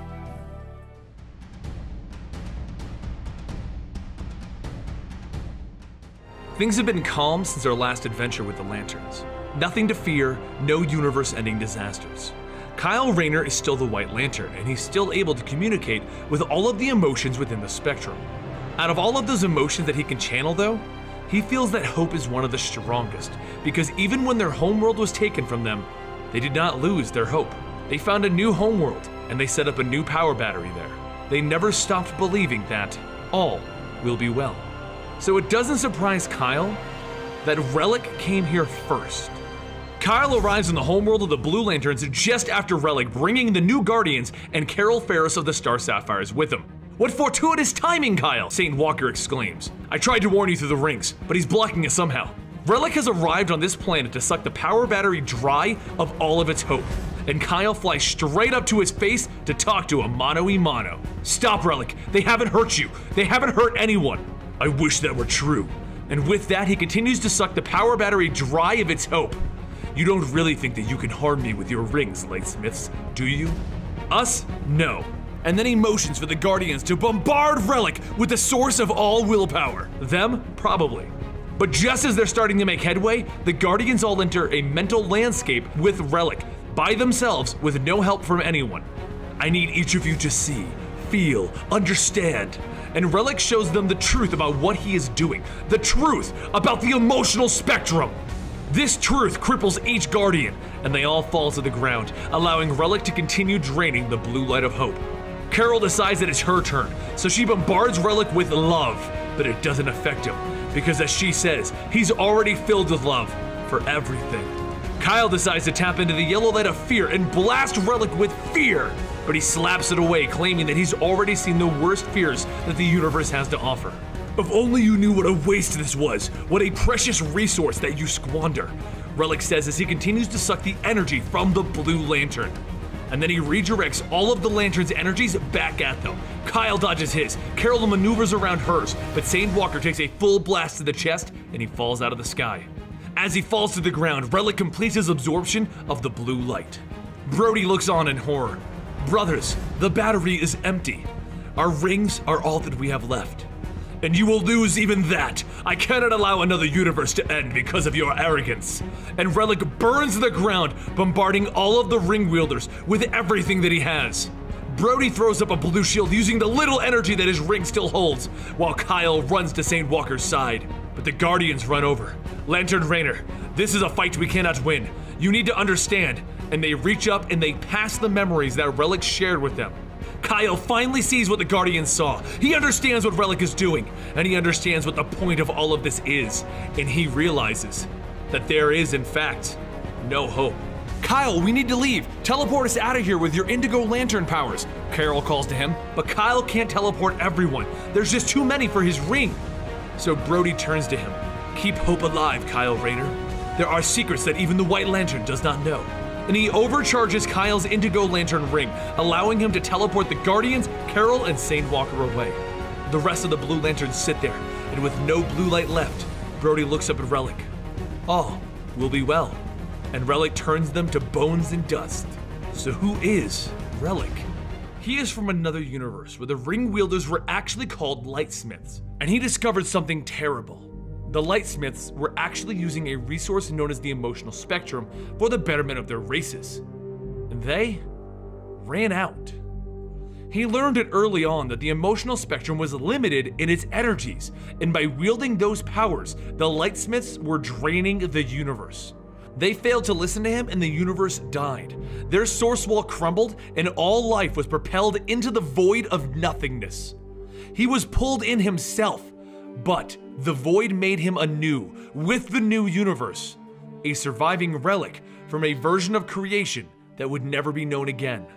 Billions of years passed until eventually he was awoken again by the presence of Kyle Rayner and these new Guardians. He cannot allow the universe to implode again. He will stop these ring wielders and he will prevent the emotional spectrum from running on empty.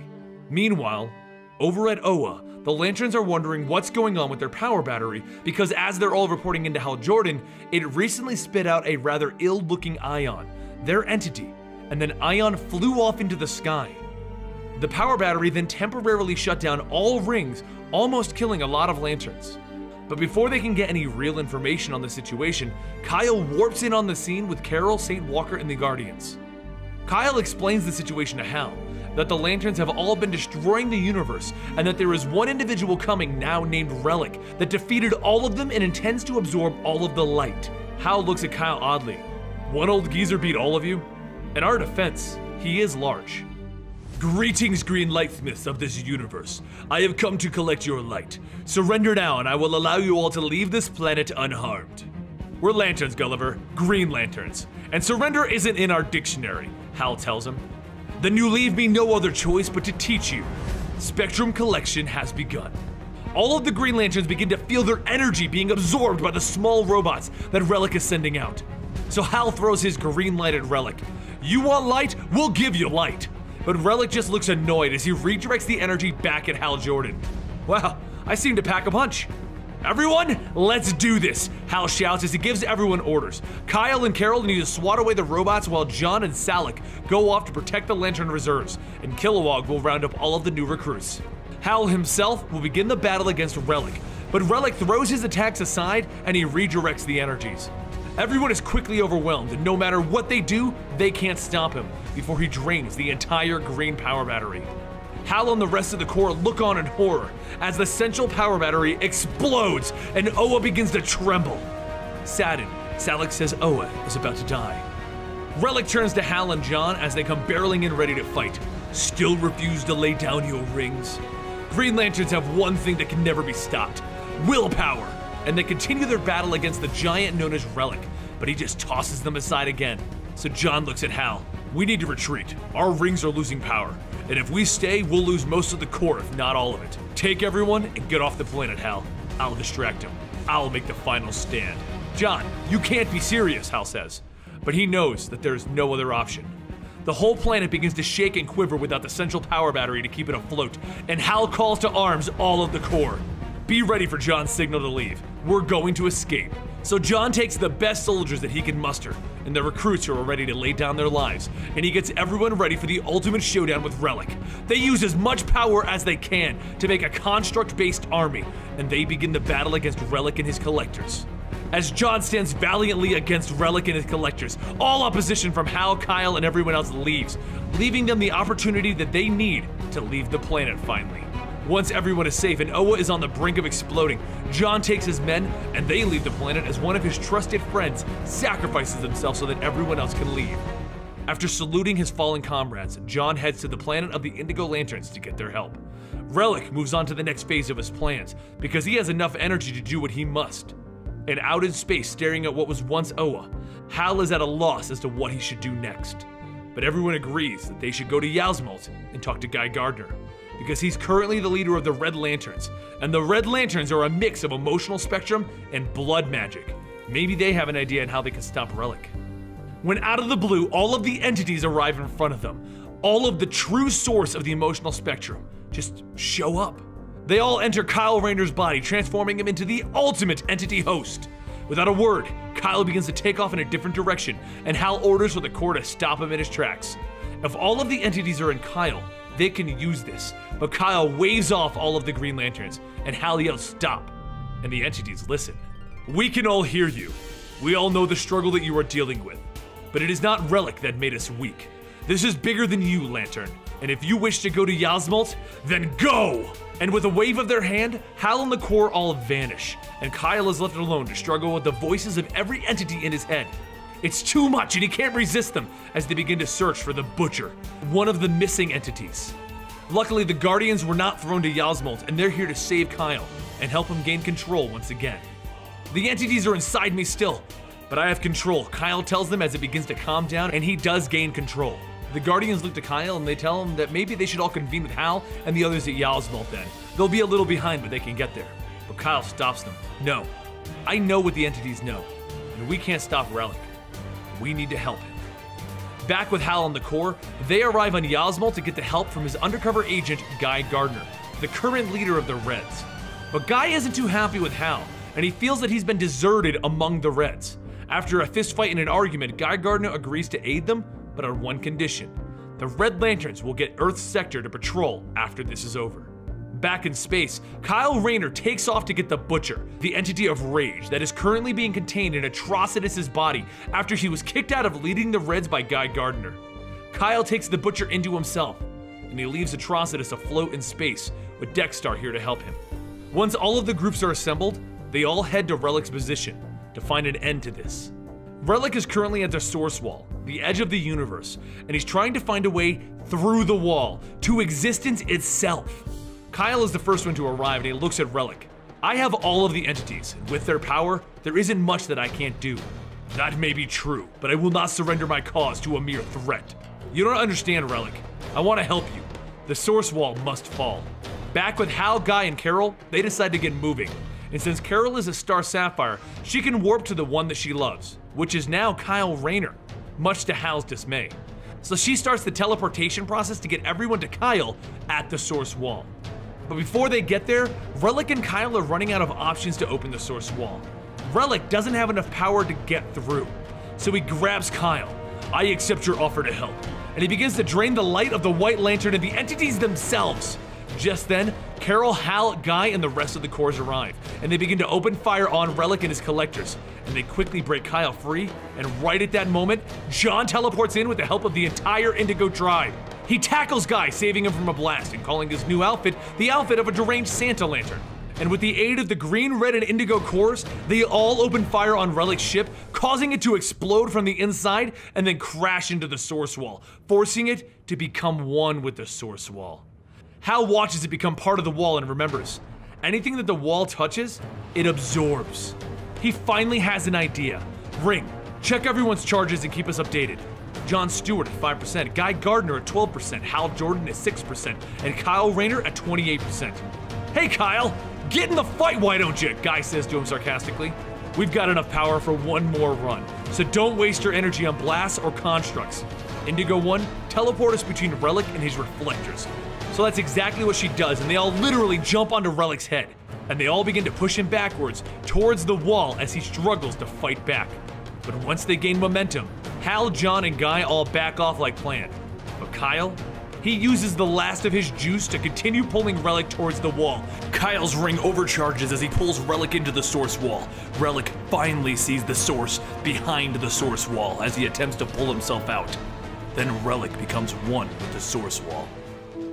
Everyone stares in horror as they realize that Kyle just gave his life to replenish the emotional spectrum. By going through the wall with all of the entities, the emotional spectrum is officially refilled. Kyle's gone, Hal says.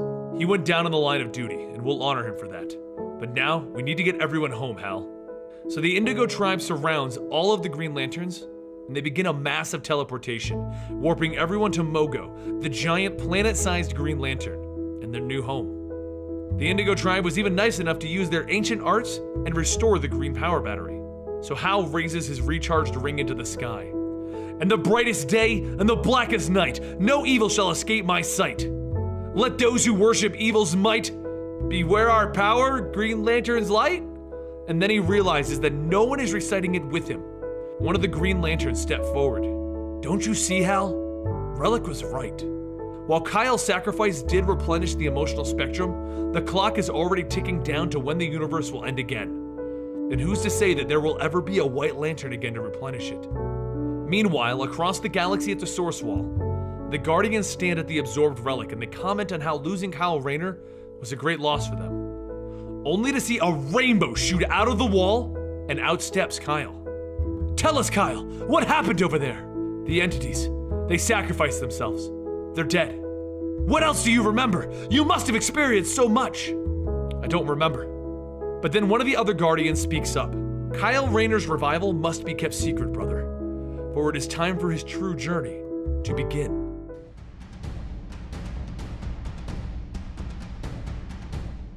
We now go to Carol Ferris on the homeworld of the Star Sapphires, trying to explain what happened to the Star Sapphire Council. She is sad because she started to develop feelings for Kyle. But at that moment, she gets an odd message from the new Guardians, and she leaves at top speed. You jerk! She screams at Kyle as he stands in front of her smiling. You let all of us think that you were dead? Kyle, why didn't you tell me that you were alive? I did tell you that I was alive. That's why you're here, he retorts. No, the Guardians asked me to come here, and I'm quoting here, to address a matter of concern regarding Lantern Rayner. Uh, sorry? She then jumps into his arms, just happy that he's alive and here. And she asks why he isn't telling anyone else. And he explains Saint Walker is in a coma. Guy is a Red Lantern now, and John would just tell Hal, and he isn't ready for Hal to find out.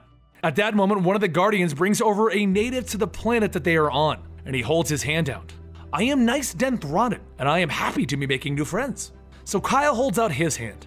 I am Kyle Rayner of the White, friend of angry women. Carol isn't exactly happy with that remark, and Nias walks them through the planet, introducing them to a utopian paradise. His people, the Exurias, have accomplished something that no one else has managed to pull off perfection. He then jumps off the tower backwards, forcing Kyle and Carol to jump after what they are assuming is a suicidal alien. But the planet actually catches him and floats him to the bottom. Nias explains that the planet provides. No one on this planet has a need or a want.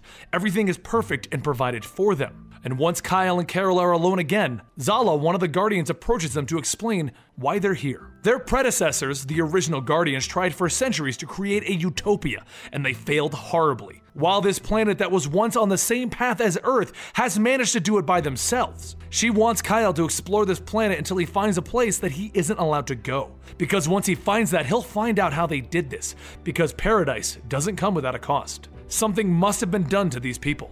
So as the Guardians distract Nias, Kyle uses his ring to sense all of the emotions in the spectrum, and he can of course detect love, will, hope, and compassion. But it's the feelings of anger and fear that make him curious, because it's coming from all of the teenagers heading to a single large building. As Kyle says, if you're looking for fear and anger, teenagers are the way to go. Kyle and Carol head to that spot, where oddly, they are welcomed to actually enter the structure. They do not hide anything here. As a matter of fact, they want everyone to see this, that is what these young ones are doing. They are coming to see the truth. Carol looks at Kyle. This has re education written all over it. But Kyle does as the Guardians have asked him, and he walks in alone to a room filled with people. How anticlimactic, Kyle says to himself. He demands that the one on the ramp stop what he is doing. None of this feels right, and if he's hurting these kids, I am, the man says. And this causes Kyle to pause. Not the answer that you were expecting, friend? Well, most villains don't come out and say it. I am to be the villain in this then, huh, friend? So he invites Kyle to look at the broken mirror thingy so that he can explain. This planet is able to look into other timelines, timelines where small and large changes have happened. And then they go there and they take the change, they take the miracle from another timeline. He then takes Kyle and he walks through the mirror, showing a world engulfed in flames and destroyed. They take the best timelines and they leave the subpar timelines with the other worlds. Sometimes they take small changes, but sometimes they take big changes. Kyle is in shock. You're stealing futures to create a world where everything has gone right? Yes. and all of our people must accept it. Some do, and they come back knowing what is sacrificed for them, while some can't deal with what they've done and choose to stay in those worlds to try and help those people. And you think that this makes it okay? Kyle demands to know. I do. If we left those moments in place, many timelines would be okay, but only by small amounts. Instead, we can make one perfect place. And that's when a spear comes out of nowhere and hits the old man. Kyle takes him back through the portal, but then behind him, he sees you through it as the residents of the destroyed timeline are here to get their future back. Kyle immediately begins to throw around his constructs, but for some reason, he can't hit the invader, and that's when the Guardians tell him it's a living structure, it won't allow violence. If Kyle keeps using his ring, the structure will keep pushing back and it will prevent him until he destroys the planet. So he makes a willpower based bubble around the invaders. He then uses the power of hope to heal the old man. The invaders break free from the bubble and they begin with their plan to kill everyone on this planet. Then the alternate old man comes through the gate to reconfigure the structure and turn it into a mass portal, allowing all of the other timelines to cross if they want to. Carol looks up at all of the other destroyed timelines. Oh, this is not good. Kyle then begins smashing the mirrors trying to prevent the portals, and with the change in the structure, the protection systems are down, allowing Kyle to properly use his ring. An all out war begins on the planet with the invaders attacking everyone, and Kyle and Carol try to hold them back. But with them keeping the invaders busy, the Guardians have an idea and they begin heading off in a different direction. Kyle then begins battling against the other world's champion, an alternate Nias, and he's trying his best to win this fight and save the planet. While all of this is happening, the old man that controlled the portal and the one from the alternate universe realize they are actually one and the same. As much as they tried to picture each other as monsters, they are just different versions of the same person. During this talk, Kyle is hitting the alternate Nias with everything he has until he finally gets a free shot at the device on the alternate Nias' arm, the device that can reconfigure the structure. He then smacks him down, winning their fight. The structures begin repairing themselves, and Kyle holds the biggest culprits to the invasion, while Carol, as she puts it, pushed the alternate versions back through the holes. She really doesn't have a vocabulary for this. Kyle then gives them an ultimatum shut these portals down and make it right, or he will. And with that, he takes off into space until Carol catches up and asks, Are you okay? Because giving an ultimatum like that doesn't feel like you. Kyle explains that he has all of this power, but sometimes, even the best solution is the worst one. And he can't let them keep stealing futures, so if he has to be the one to lay down the law, so be it. He then takes off into space to think. But the new Guardians have their own conversation. Did we learn all we wish to learn from this? No. Lantern Kyle does not understand what he saw beyond the source wall, but they are still coming and he is not ready to face them. We'll have to keep testing him.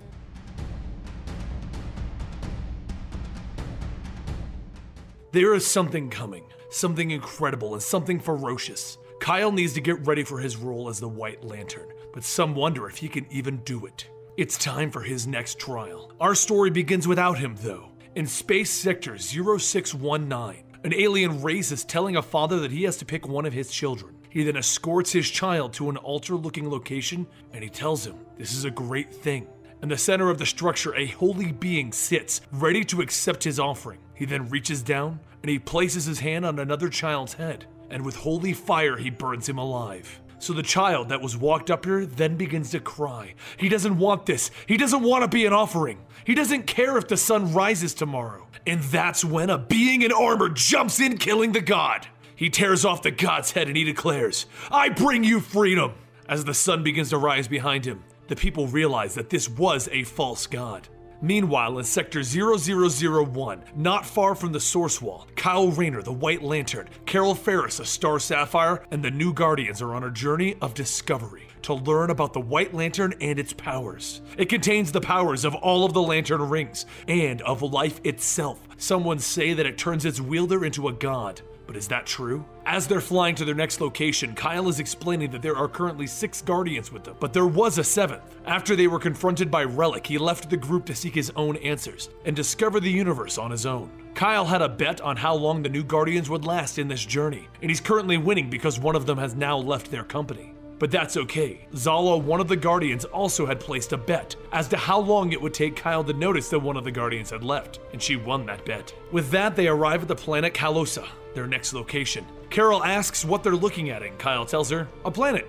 But Palco explains the planet to them before she can jam her ring up Kyle's. Well, you get the idea. This planet is not particularly remarkable, but recently a new religious sect has popped up and they are spreading their word as the light in the fire. They are a peaceful empire with a peaceful religion that has been going from planet to planet spreading their word and bringing each world into their religion. The interesting thing that has drawn the attention of the new Guardians is that each world that this religion touches gets better and it grows. That's when Kyle sees the cost of this peace. They appear and find an army of murder caterpillars, as Kyle puts it, bombing the poor farmers in the area. So Kyle and Carol get to work saving the day with their rings, except that they're told to stop. Everyone stop! Kyle looks down to see a Tamaran woman standing there in a robe. Bloodshed is not the way. It is not what she would want. It is not what we want. She explains that the army has been dispatched to round up the religious sect's members because their beliefs of equality and liberty make them an inconvenient target for the elite. Kyle asks why they don't fight back as she tells them, It is not our way. It would only incite more conflict. Every time you push back, they shriek harder, and then she points down at the army that Kyle was just fighting. Looking down, Kyle sees that there are more weapons coming in. He facepalms. Carol, you take the murder caterpillars on the right end. How many cannonballs do you think you can stop with your ring? Not enough. So one of the new Guardians flies in. I think this will take a different approach, and he tries to reason with them but they fire their cannonballs, and Carol and Kyle have to try and stop as many as they can. But then he realizes this isn't going to work. They can't stop them all before the people die. So he tries something new, and he spreads compassion over the entire planet. And everyone stops. They feel everyone else's pain, fear, anger, hope, will. Both sides have shared their feelings with each other, and neither can bring themselves to fight any longer. Carol looks at the ending conflict. Well, that worked. Not really. I can't spread it very far, just what happened in this spot. And when it wears off, they're going to fight again. He then stands up and sees the burning city in front of him. I wish I could have stopped this. And then, the incredible happens. The light and the fire comes to the planet, restoring everything. A being of pure light and fire has appeared, the goddess that they worship, Zal. But elsewhere, in Space Sector 0170, the God Killers have picked up on her arrival and they realize the object of their obsession has returned to the world, and it's time to kill it. The goddess appears to Kyle and everyone. Would you not kneel? Sorry, no, I'm not really inclined to bend the knee for a light show. I've seen gods before, might have been one. You won't kneel? Zal shouts, spreading her fire all around. Good, you're right to be skeptical, and frankly, I've had quite enough of the kneeling. Carol asks, So not a god then? But Zal stops that train of thought. I am a god but not one that requires or enjoys worship, and not one who enjoys false modesty enough to deny what is obviously true, she says, looking at the new Guardians. You know us? Zala asks. What sort of god would I be if I did not recognize fellow gods? I am Zala, and we are not gods. Is that so? Your kind reshapes the world to fit your ideals, and you prefer to call yourself guardians, but I see it differently. Kyle interrupts them. So are you a god in presence alone, or are you here to help? It is my power that will help, Zal announces, and her structure begins to melt, and it begins to reshape the world around Kyle. I'm gonna need to know a little bit more about you before I let you do this, Zal. There's that arrogance again. Do you think you can stop me? But a few moments later, a streak of blue races through the sky, and it lands in front of Zal. The God Killer then stands up. I have found you, Destroyer. Confused, Zal tells him, I have not hidden. Why have you come here? You don't remember us? You do not remember the tale of your creation? The Makers arrived at your god's homeworld and they kidnapped her. They then experimented on her until they granted her this power, and in her wrath, she destroyed the planet that the Makers were on at the time my homeworld. You came to our world and we saw hope, but you only brought destruction with your rage. He then commands the rest of the God Killers to land, and they all spear Zal with their weapons, over and over killing her. I can't die, and then she explodes in light and fire. Her disciple hits the ground screaming, No! And Kyle floats over to them. Kyle is damn right no.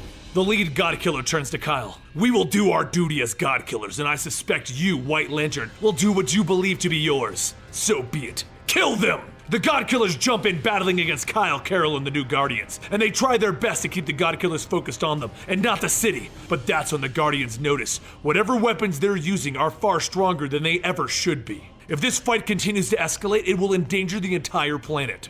But that's the least of their worries. Azal is not dead, and she is very pissed. As Kyle's getting beat down with those weird weapons, Zal begins to burn with the power of a god. The equivalent of small nuclear blasts start going off and scorching the planet. She then begins creating fire tornadoes, wrapping everyone up in them. The Guardians don't even have the power to stop her, and they do their best to contain her fury and rage. But while she's exploding in power, the God Killers kill her disciple Kala. With so much rage spilling over this planet and Kala dying, Kyle absorbs all of their hatred and he allows the red power of rage to flow through him. He begins blasting the lead God Killer and forms a construct power suit around him to beat the man down. He then begins to lose control and he almost hurts Carol. But he stops and he realizes that he's absorbed too much hatred. Kyle realizes that this is a losing battle and if this continues to escalate, they will lose the whole planet. So he takes Carol's hand and he tries something that he's never done before. He uses the full power of love and compassion, and he pumps it through his every fiber in his being. All of the God Killers are teleported away, and Kyle hits the ground with his essence leaking out of his own body. The Guardians fly over in a hurry with Carol begging for them to help him, and they stabilize his form barely. Zal screams at them, You will tell me where you sent them! This cannot be allowed to continue. And Zala tells her, You know we will not tell you, and if you try to force us, this planet will suffer. You can be more than this. You can help these people. You can be what Kala believed you to be. We will not force you, but we will ask. Be what your children need, Zal. Zal turns away from the Guardians to Kala, her fallen disciple. I'm sorry, Kala, but this can't happen again and she vanishes. Over with Kyle, Carol is holding his head in her lap. Did we win? Because if we lost, this is the worst afterlife ever. The God Killers are gone, Zal is gone, and your brains are in your head. That's win! The Guardians float over and they ask Kyle how he's doing, and they tell him that he did the impossible. He teleported all of the God Killers out of their weapons and armor and away. While he may not want to accept that he is a god, even the Guardians don't know the full range of his power. Perhaps he may want to admit what he's becoming. Meanwhile, on the old homeworld of the Blue Lanterns, the God Killers are preparing to survive and find a way to get their revenge.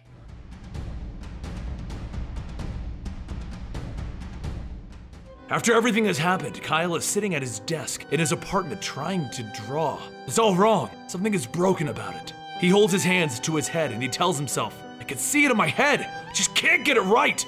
The messed up, broken looking girl next to him apologizes for looking the way that she does, and he tells her, It's not your fault. I'll get it right. He begins to erase the drawing, and the girl next to him begins to vanish from existence while a black and purple energy flows around him oddly.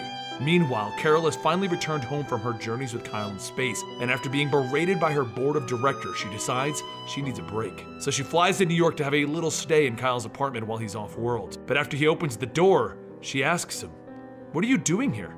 I live here? No, I mean on Earth, Kyle. You told me you were gonna stay with the Guardians while I went back home. Kyle looks confused. I I don't I'm not I'm not sure. I, I just needed to be here. I needed to have a life. Carol looks around and sees various scorch marks on the walls, and there's especially one that looks like a human being where the girl just was. She then looks around and sees that the entire place is in shambles. She turns around with her uniform on, wrapping up Kyle in her power. Just who the hell are you? Carol, what, what are you doing? I'm Kyle. I don't believe Kyle would come back to Earth without telling me, or come back without me feeling it, and I definitely don't believe that he would take his ring off. So Kyle makes a white ring appear on his hand. Carol, I, I have the ring on. You need to let me go. Forming a ring out of your skin is not doing a lot to convince me that you are actually Kyle in front of me. So Kyle begins to form his uniform around him. But it's not the White Lantern's outfit that we're used to. This one is a black version with a White Lantern symbol on his chest. He breaks out of her bonds and he tells her, I'm not sure what's wrong with you, but I'll make it right. I can fix anything. She then blasts him through the chest, and he acts unfazed. It's okay, it's okay. I can make it right. Meanwhile, deep in space, Kyle is fighting it out with space sharks and space squids. Kyle comments about how this isn't right. Someone is changing them, altering them. Space sharks are already rare, and space squids don't exist. The Guardians explain that whatever altered the very makeup of these creatures is beyond them. There's something new out there and they notice a nearby space station is completely void of life when it shouldn't be. But before they can resolve this mystery, Kyle gets a very bad feeling. There is something wrong with Carol. The Guardians tell him that he can't go, though. Not until they find these makers that the God Killer spoke of. The ones that had a hand in these missing people and the space squids. But Kyle isn't going to be stopped. This is Carol, and he leaves at light speed. He arrives back on Earth going right to where Carol is, which is oddly Arizona, the home of Kyle's father. More shockingly is that there's an energy field around his hometown. When he tries to scan it, he loses control of his ring and he falls through the energy field, landing in front of his father's shop. He then looks down at his hand and he's literally coming apart at the seams. Coming apart! I need to stop this! Carol floats down in front of him. Yeah, we do. She explains that whoever this is is constantly changing everything. Originally, they were in New York with Kyle's apartment, but now they're in Arizona with Kyle's hometown. Regardless of what he's doing, he believes Carol is supposed to be there, so she can't leave. She then looks at Kyle and sees him fading and tells him, Stay real, Kyle. Stay here. You're with me. But something is overcoming him. He falls to the ground chanting, I'm not real. I'm nothing. I'm nothing. I'm nothing. Kyle, you need to feel it. So she gives him a big kiss, and he feels what's real. Now that he's in the right state of mind, he looks around and he realizes he can't see the people. But Carol tells him to relax, she shows him his father. She kept him safe. And then Kyle turns to her. I'm about to find out who he is, aren't I? And behind them is Kyle? It's the evil Kyle, draped in a black version of the White Lantern uniform, and surrounded by the incorrect versions of all of Kyle's friends. It's all wrong, everything is wrong! But don't worry, evil Kyle wants to make it right. They both fly straight up and stare at each other. It's my face! Evil Kyle tells him, but Kyle asks him, What did he do to these people? And Evil Kyle explains, They weren't right. I'm trying to fix them. So Kyle tells him, They aren't his to fix. That's his life down there and Evil Kyle slaps him away. This is your fault. You took everything that's supposed to be mine. You did this! And he blasts Kyle with a barrage of energy. Kyle hits the ground and he feels the energy hitting him again, so Carol hits the evil Kyle with her power. The building and the people begin to melt and fall apart around them as the evil version of Kyle is beginning to get filled with the red power of rage. And that's when his father steps forward. Stop! But evil Kyle turns the power to his father and Kyle has to jump in to save him. I'm ending this. And then he hits the evil version of himself with the white power of life. The evil version vanishes, and Kyle embraces his father. But everything begins to melt all over again, and Kyle begins to feel weak because it isn't over. The evil version grows to the size of a building. Carol gets Kyle's father and the civilians out of the way, while Kyle uses the white power of life to create a giant version of himself to grab the evil version.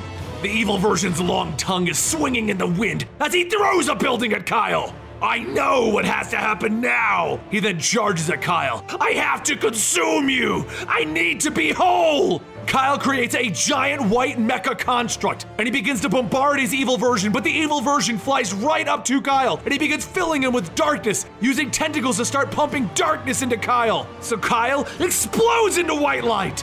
Carol runs from the scene as quickly as she can, pulling all of the civilians with her, and they barely get out of range as the white light's explosion envelops the area. Once the smoke clears, things are even worse because the source wall has formed around the entire city, and Kyle's face is popping out all over it. As a voice in Carol's head explains, that he went beyond the source wall during the fight with Relic, and it's been haunting him ever since. He has seen creation in the face of where everything began, the source but he couldn't remember what he saw.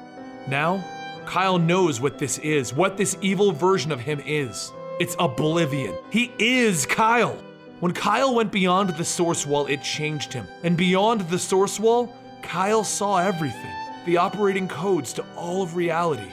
It was his anxiety, his fears, anger, everything that gnawed at his mind, given form. It became oblivion, the evil version of himself. And now he knows the answer is not to fight, because he has finally realized why he's getting more and more powerful recently. He's been doing it subconsciously.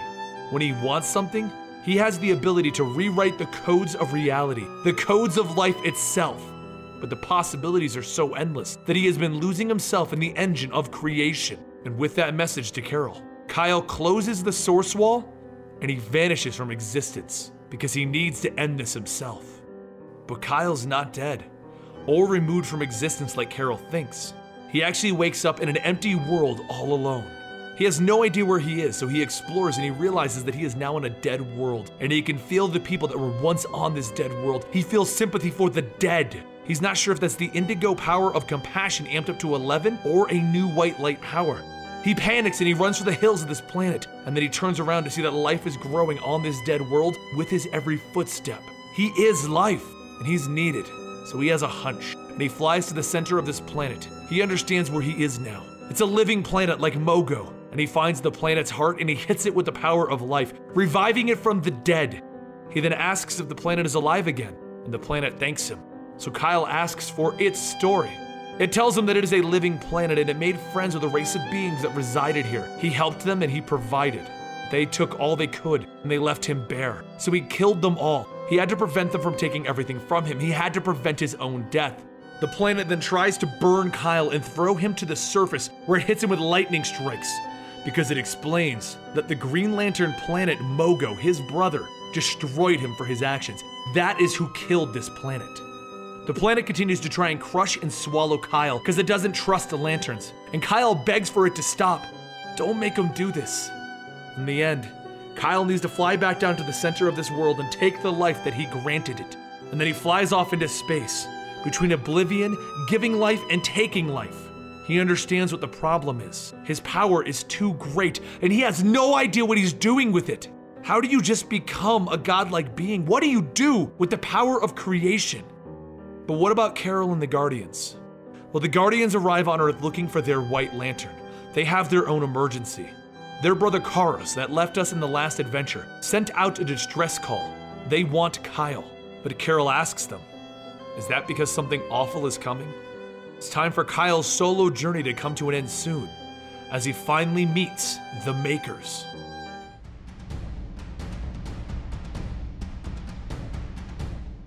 Recently, one of the Guardians left Kyle, Carol, and the new Guardians. Quaros went on his own adventure to discover the meaning of life itself. And right now he's on a planet telling a poor alien to be quiet before they get abducted. He's here watching billions of aliens get abducted directly from their homes. And he charges at the ship shouting, I will not allow this! So the ship above moves every one of its beams to him, and even he can't stop it anymore. It begins to pull him to the ship. Show yourself, makers! Show me what you are! He shouts as they pull him helplessly into the ship. Yes, we will show you. The rest of the new Guardians arrive on this world much later to try and get their clues. Carol wants to help them, but she's telling them Kyle is missing also. Why aren't they looking for him as well? And one of the Guardians tell her Kyle is powerful enough to defend himself. If he's in trouble, they would feel it. So the Guardians use their powers to link with their brother and try to get answers as to his whereabouts, and they're immediately blown back by his psychic energies. They can tell that he is suffering. Quaros is strapped to a machine, one that is literally tearing him limb from limb. The new Guardians and Carol go to the location of the Maker's ship, and without even considering a plan, they go directly inside with Carol telling them this is a very bad idea. Being desperate is making them dumb. Inside, they find creatures that are altered, their bloody limbs lying on the ground, and they can tell that these beings have the molecular coherence that they saw in Zal the goddess. They go deeper and they find more mutilated aliens, still alive, asking for help, and creatures attached to machines. The Guardians begin to panic. These beings cannot be allowed to mutilate a Guardian of the universe.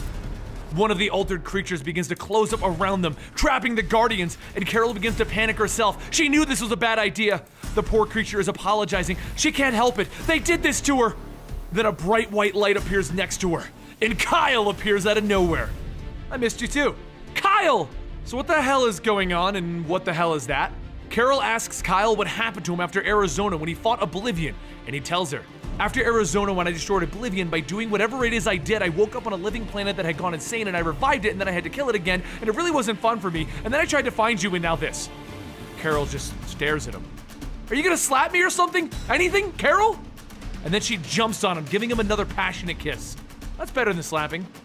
They get to work flying deeper into the ship, and Kyle pushes out the power of life to see what they're dealing with. But it confuses him because he's reading everything and nothing at the same time.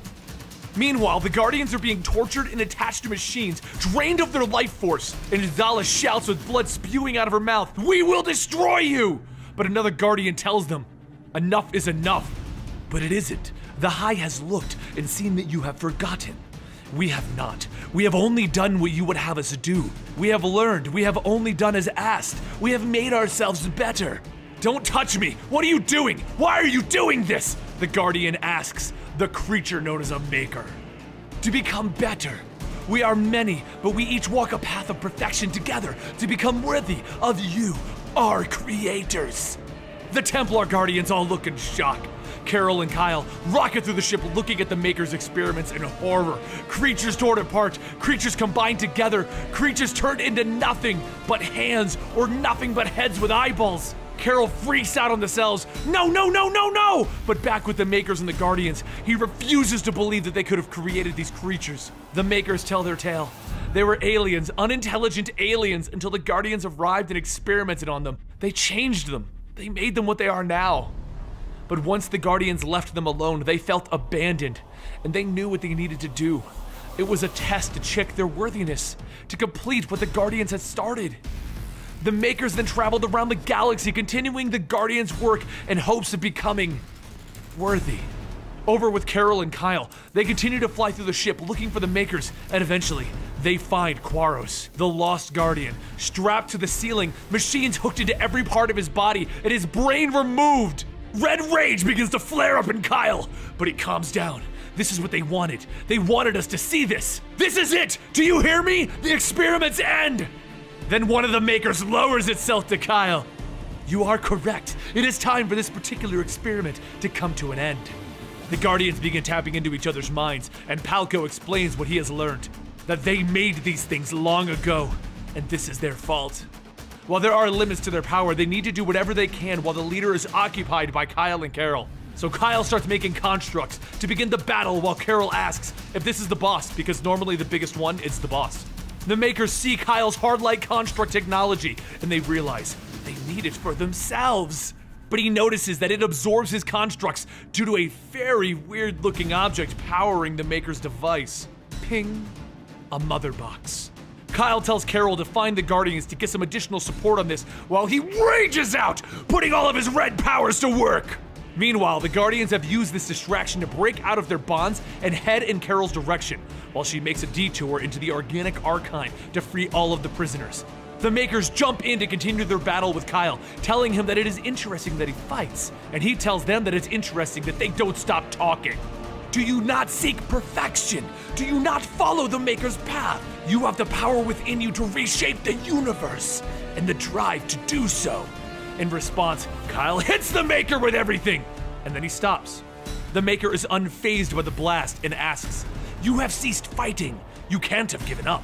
With a smile, Kyle tells him, Nope. Then a blast of Guardian power hits the Maker. Just wanted them to have a chance to get a piece of you. Where is our brother, Kyle? You don't want to see this. Where, Kyle? Then Zala sees him. Quaros, her brother, in pieces.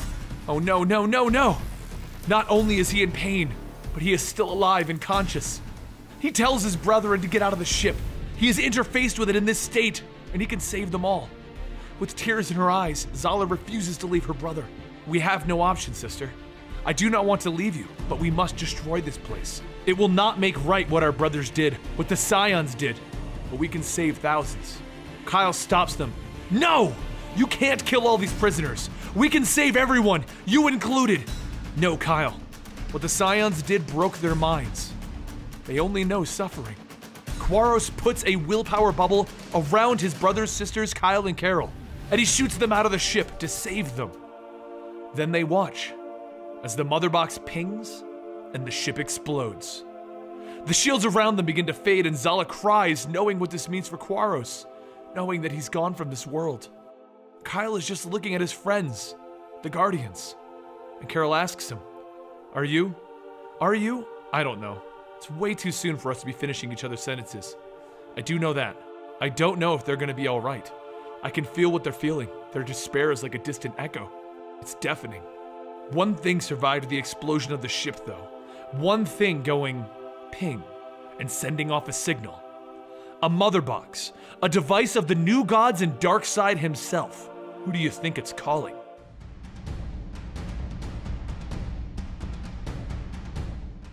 In the beginning was the void. Then from the darkness of the deep erupted the energy of the deep. Out of this tumult formed the heavens, a multiverse filled with glittering stars. Amid the multiverse firmament, the dust gathered and was shaped into a world where waters boiled with light and from the light sprang life. The old gods ruled all that they saw, but that was not enough if they had to share it. Darkness still clung to this new existence. Jealousy and pride had burrowed deep into their hearts. It cursed them, and they returned to the dust. Then, the new gods rose. God against God, there was no personal vendetta, but a battle for the soul of the cosmos, an army of light against that of darkness. After seven days of war, there was more dead than living, so the new gods sulked back into the multiverse. High Father and his side built New Genesis high above the world that they had destroyed, while Darkseid and his ilk built Apokolips. One would search for the life equation, while another would search for the anti life equation. And thus began their search throughout the entire multiverse. And the High Father was brought to the Source Wall to speak with the greatest knowledge beyond the wall. But he was unable to pass through. In the beginning, there was the Word, and the Word was the Source. But today, the High Father and Metron see something new. A new being has been trapped within the wall. When Metron uses their technology to speak with the being, he starts in ramblings and nonsense. His name is Relic. His universe lost its emotional spectrum, and he came to this one to save it. But the lightsmiths of this universe, no, the lanterns of this universe, united and defeated him, with one going through the wall after him. High Father is speechless. A being in this universe went through the wall? Metron, do you know of these lanterns? Mortals.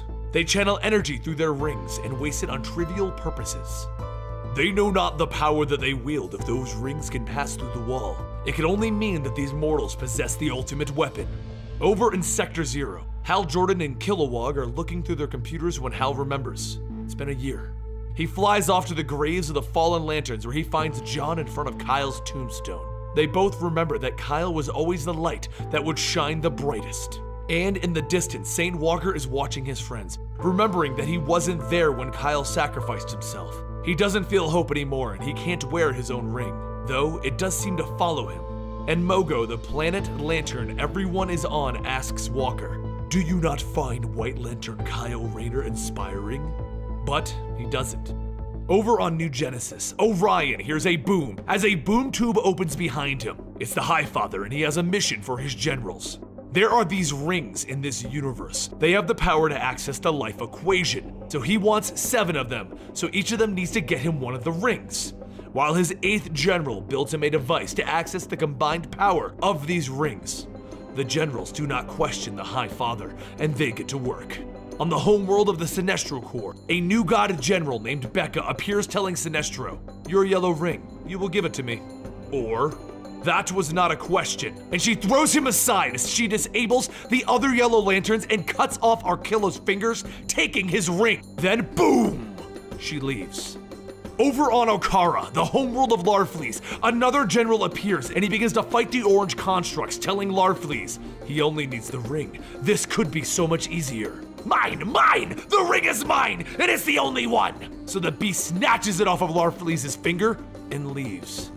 On Zamaron, the homeworld of the Star Sapphires, a speedster zips through the planet, taking one of their rings, and simply leaves.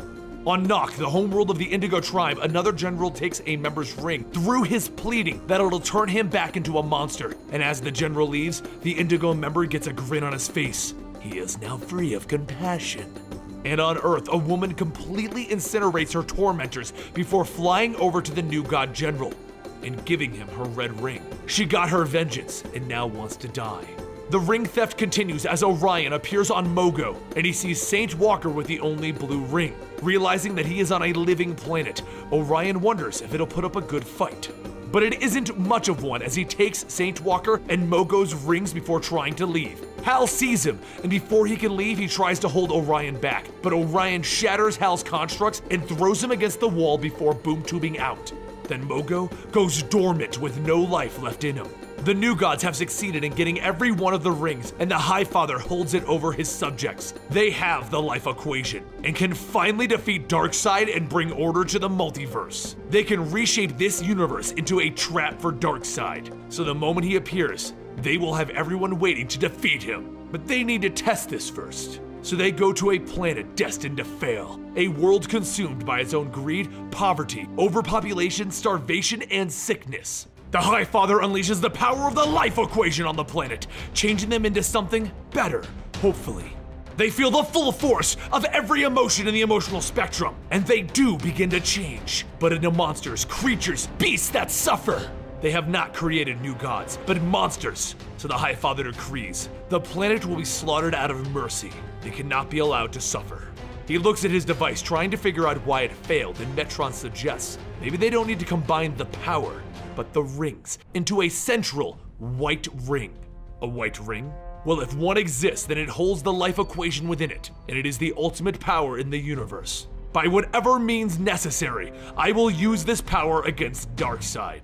Over on Mogo, Hal is trying his best to figure out what just happened. Mogo has gone dormant and their systems are reading an entire planet was just exposed to a massive amount of spectrum power. Two planet-sized problems for the Corps to handle. And that's when the new gods begin to trace back the rings to read its information and try to figure out the answer to the White Lantern. Just as Hal and Kilowog are sitting there trying to figure out their problems, they see someone trying to access the Corps' computers. Their first reaction is to sever the connection, but Hal tells them not to. These computers have 10 billion years of knowledge in them. There's no way that these guys are after all of it. There must be a specific thing that they are searching for. That's when they see their goal the White Lantern. Hal also counter traces their signal to find out Metron's current location. That's when he takes half the Corps to go meet them.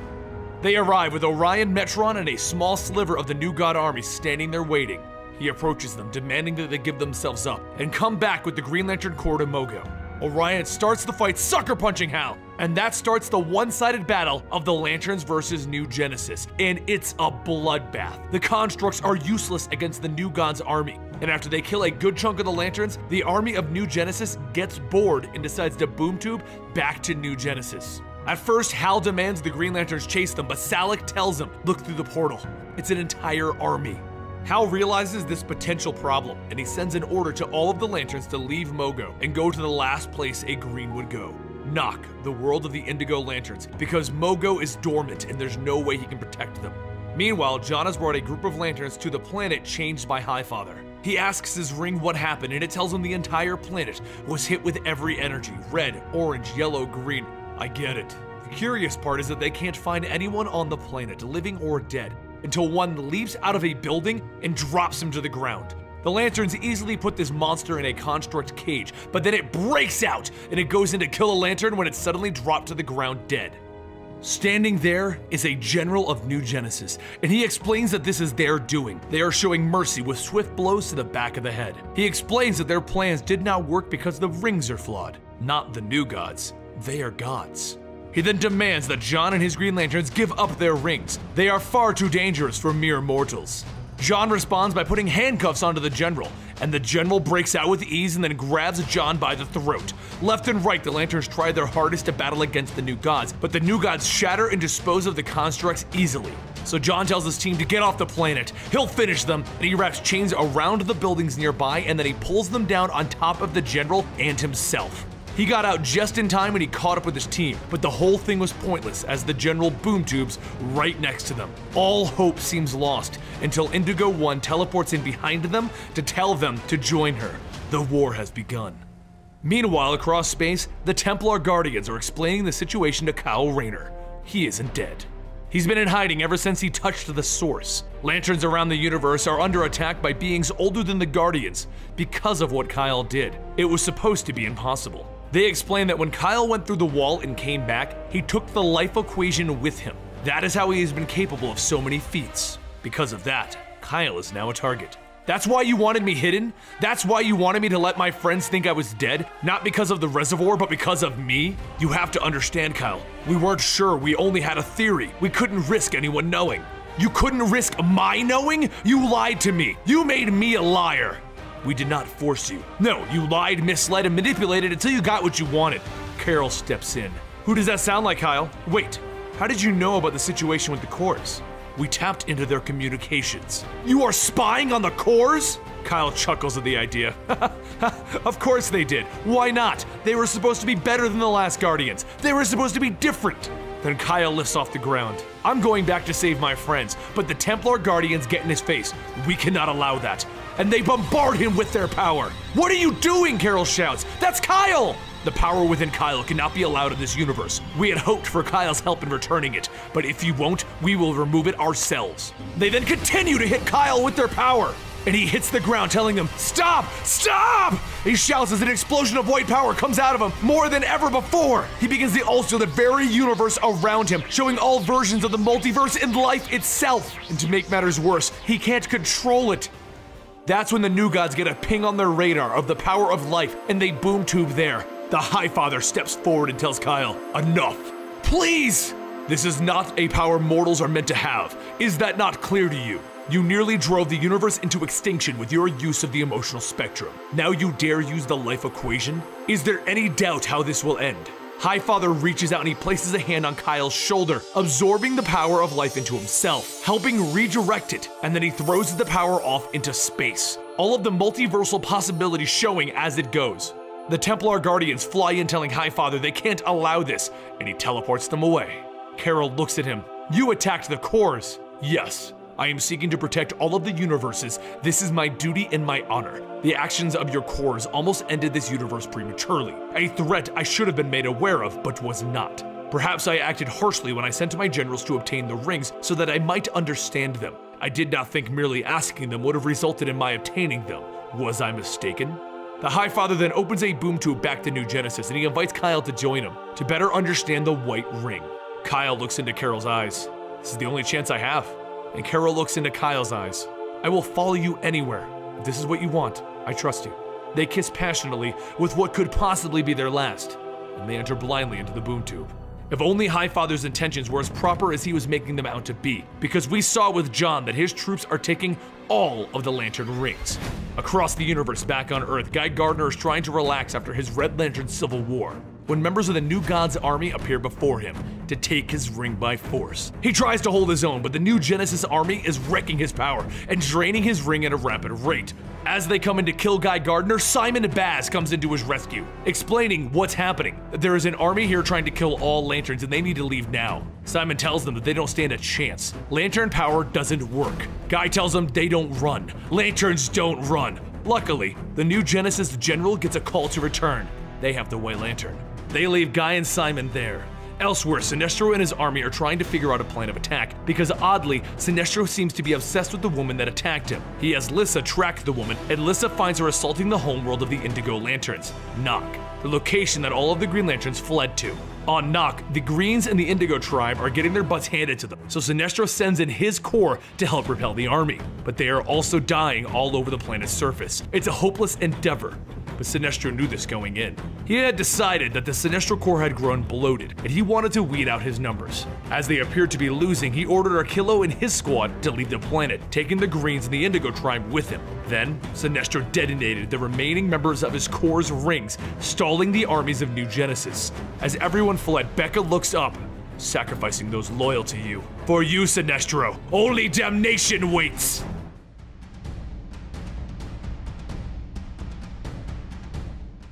In the beginning, there were the old gods, but once they fell to their own nature, the new gods arose, and a battle between light and dark began High Father versus Darkseid. They were never able to defeat each other, and things were always at a standstill. Until now. The High Father has taken his army to the universe of the Lantern Corps to see what this power is that they wield. And once he discovered how powerful it was, he set his troops forth to kill and claim every Lantern Ring. No mortals should wield that power. Kyle Rayner, the wielder of the White Ring, has gone to New Genesis to learn how to control his powers, as he is unaware of the High Father's decree against all lanterns. Hal Jordan is leading the Green Lanterns that were not on the Green Lantern homeworld to the home of the Sinestro Corps, and he realizes that the only way for them to even stand a chance against beings that can shatter constructs is to team up with Sinestro. As they approach Lyssa, Sinestro's council tells him that the Green Lanterns are now upon the world, and it is his daughter Soranik to blame. But as they begin to argue, Sinestro tells them both to be quiet while he welcomes the Green Lanterns. Soranik gets to work trying to patch up the injured Green Lanterns, and Sinestro goes to Hal just as the Templar Guardians that were keeping Kyle's secret arrive. They explain that the New Gods now have the most powerful of the Lanterns, the White Lantern. Hal is confused, he thought Kyle was dead, and Sinestro wants to know how Kyle is the most powerful. The Templar Guardians explain that they have kept Kyle in hiding because he obtained the life equation, Saint Walker hears that his friend is alive and he runs forward to hear of Kyle's survival himself, and the Guardians explain. They were just trying to save Kyle from himself, from what he could become, the end of everything. Hal is even more confused. You drop out out of nowhere and tell me that my friend is alive, but bad news, you've misplaced him? We're at war and we could have used your help. We know you were at war, Hal Jordan. How do you know that? I haven't seen you in a year. That is for another time. Hal thinks about it. The new gods have each ring red, yellow, green, sapphire, orange, blue, and indigo, and now they have a white ring. There is only one ring that they don't have, and the Guardians stop him right there. We will not allow you to do that, Hal Jordan. It is madness. And they demand that he find a new solution. So he walks into Sinestro's chambers to try and figure this out when Sinestro joins him. Hal, you did well because you were unpredictable. That's why I can never kill you. Any plotter or schemer in my path I will crush but I can't predict you, Hal Jordan. Sinestro decides that he will move everyone to the antimatter universe of Qward and hide them there. While he does that, Hal should do what he shouldn't do, what no one is predicting go get the Black Ring of Death. All the way over on Earth, Black Hand has an army of zombies enacting a circus for him, everything from Harry Houdini to the Flying Graysons, and the police are too scared to walk in and stop him. So they stand outside, preventing the zombies from escaping until Hal Jordan arrives. Black Hand gets ready to fight against Hal, but he tells him, I'm not here to stop you. I want you to take this show on the road, Black Hand. The rest of Sinestro, Indigo, and Green Corps all go to Qward as the Star Sapphires are being invaded by the new gods. But as they enter Qward, the Guardians ask, Where is Hal Jordan? Sinestro looks at them. Your great leader that led dozens of lanterns to their deaths is off to raise reinforcements. He went for Black Hand after we forbade it. He's playing with forces too dangerous, too uncontrollable. But that is a matter we must address later. We need to rescue Kyle Rayner before they can turn him into a weapon.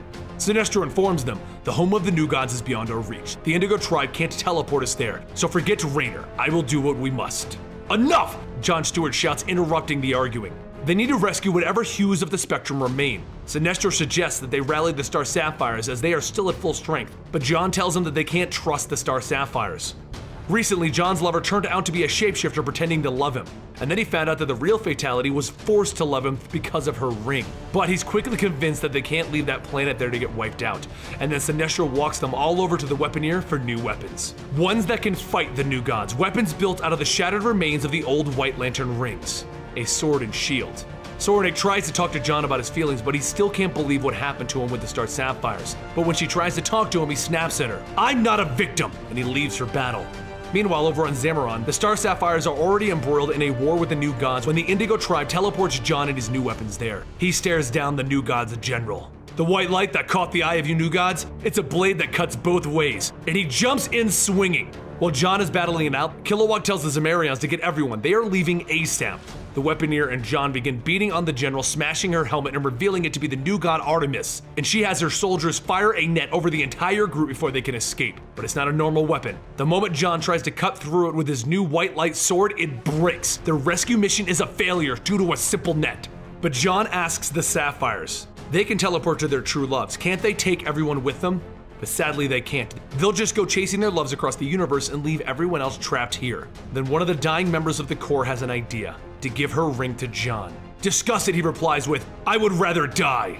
Not after you brainwashed Fatality and forced her to love me. But they explain that in order for Fatality to love him, she needed to have that love in her heart already. The ring floats off the Sapphire's finger and over to John, where he eyeballs it and accepts it. John Stewart of Earth, you have great love in your heart. Welcome to the Star Sapphires. He then points his ring into the air. For God, country, and the Corps. And with his love for the Corps, he grabs everyone within the net and he pulls them back to the Corps' headquarters. As they flee, Artemis soldiers ask her why she didn't shoot the ring out of the air. She could have totally done that. She could have stopped this from happening. And she tells them, it doesn't matter. They'll all be converts soon. Meanwhile, over on New Genesis, a boom tube opens and Highfather steps through while Kyle and Carol follow him. They have no idea of the events that are transpiring everywhere else, and the Highfather has promised that he will help Kyle control the White Ring. Highfather walks Kyle over to a machine and he informs him that he can't separate the life equation from the ring, but he can remove the ring from Kyle's finger. Kyle kisses Carol when she objects, telling her he has to. He can't risk the universe. He won't risk Carol. So he puts his hand into the device, and in a blinding flash of light, it is removed and placed into the hands of the High Father. He takes it and puts it into his device, and as Carol picks up Kyle off of the ground, she asks High Father, will he return the rings that he stole now? Stolen? Those rings are not stolen. That would imply legitimacy of your stewardship that never existed. Those rings are rightfully mine as I have sent for them for further study. If you aren't giving them back, what are you gonna do? Save the multiverse. He then shows Kyle and Carol his scepter, with the white ring inside of it. I will use the life equation to remake your universe beginning with Earth. I will prepare it for the war with Darkseid. No! You said yourself that no one person should have that power. No one should decide for everyone. And as she says this, Carol bombards the High Father with the power of her ring. Everything she has, draining it faster and faster. And she tells Kyle to think of something fast. She can't keep doing this. But this is all a part of the High Father's plan because her ring reaches zero. And then he uses the white ring to cast them out of his chambers down to the barren world of Old Genesis, their old planet. Kyle Rayner and Carol Ferris are no longer of any use to him. They are both now stranded in a foreign universe with no rings, no power, and no way home. But the High Father isn't done. He walks to a city where he holds up the new scepter to its willing participants, and he tries to change them into the new God's army. And it works. He changes an entire city into the willing soldiers of his army. He has ultimate power. Meanwhile, Guy Gardner and Simon Baz are still on Earth wondering what they should do next. And Guy, in his infinite wisdom, decides that he doesn't care if he's gonna die. He's gonna fight against these things. So they argue with Cyborg and they convince him to use his boom tube to warp them to New Genesis, following the energy signature of one of the generals that attacked them. But once they boom tube the New Genesis, they quickly learn their mistake as they arrive in the bedroom of the soldier that attacked them. After a few hits, they are both unconscious and they wake up in the miracle cell of New Genesis. While this is happening, Sinestro is taunting Becca in deep space as a yellow construct, and they have a not so nice debate about the purpose of the lanterns and the new gods. But he does admit that he is following her because he enjoys watching her work. And this is because she is worthy of a yellow ring. Becca of New Genesis, you have the ability to instill great fear. And she looks at the ring, but this hasn't been the only thing Sinestro has been tracking. He's been tracking all of the new gods in this universe, and John plans to use the Indigo tribe to teleport every single one of them to the soldiers so that they can steal a mother box and warp in right on top of the new Genesis army. So, they all teleport off to the soldiers. But it's not where they were expecting to go. In the middle of a puff of smoke, they realize that Indigo 1 and her tribe betrayed them. They have been warped right into the middle of an ambush.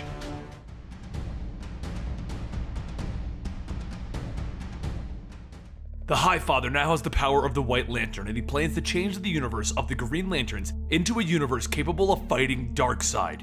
He plans to literally change the universe, strip it free of its free will, and make it an army against Darkseid. Kyle and Carol have been stripped of their powers and they've been thrown to the planet's surface to rot, and and Sinestro are imprisoned on New Genesis. Even with the power of Parallax, the very entity of fear they can't get out.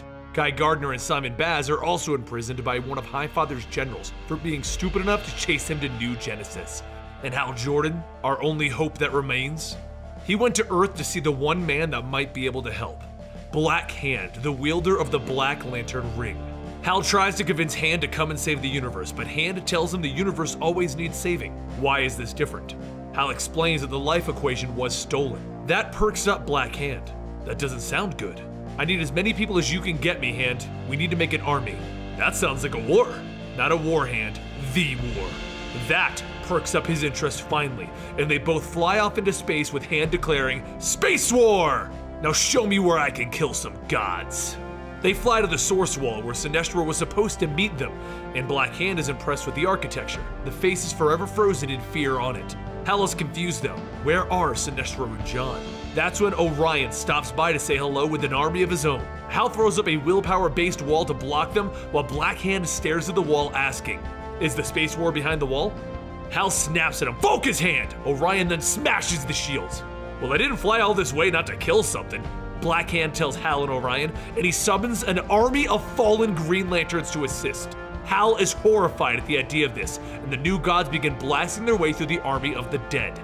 At first, the new Genesis guards can cut them down, but eventually, the new Genesis guys are overwhelmed by the guards and begin getting dragged to the source wall. Then, one of the guards' cape touches the wall to become a part of the wall, forever entombed in never ending death. And Black Hand realizes the wall isn't a wall, it's death, a mass grave. Back on New Genesis, Highfather hands Indigo 1 the Indigo Ring as payment for betraying everyone. It's because of her that Sinestro and John and everyone with them are now captured on New Genesis. He then begins dropping lanterns a few at a time in front of him, and he turns them against their will into his followers, stripping them of their personality and willpower, turning them into members of the new Genesis army. He then opens up John and Sinestro's cell, dropping them in front of him. Both get ready to fight, preparing their biggest constructs. But the now mindless follower lanterns grab them and hold them still. John is shocked that the High Father would strip people of their personalities, willpower, and their free will. And High Father explains that his plan is to use this universe. It is the only one ever able to defeat Darkseid, and due to that, he will return. High Father wants to go to Earth and change everyone there, including its champions, into the ultimate weapons against Darkseid. Then he prepares to bombard Sinestro John and their friends with the white light. When one of Highfather's generals, Maladrone, steps forward taking the blast. Highfather is appalled that someone that he saved from Darkseid and made a general of his would do this to him. But he explains that he left Darkseid because he couldn't see people become mindless followers anymore. And then he boom tubes out of there with Sinestro John and Saint Walker at his side.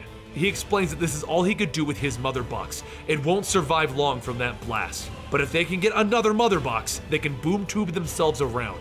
While Sinestro goes off on his own plan, John runs back out onto the battlefield, steals a weapon dropping one of the guards, and then grabs themselves a mother box before booming out of there. This insurgency is only getting warmed up, John says as they leave. Meanwhile, Kyle and Carol are on the surface of the planet separated from everyone with no idea how to get back when a new god arrives before them, Metron. He sits above them in his chair and he explains that the balance is shifted. While he will not help them, he will leave them something that will allow them to help themselves a mother box with one charge. Using the boom tube, Kyle and Carol end up over by John St. Walker and Melodrone, and everyone is overjoyed to see the friend that they thought was dead. You see, everyone thought Kyle was dead ever since Relic attacked this universe. It's been a year.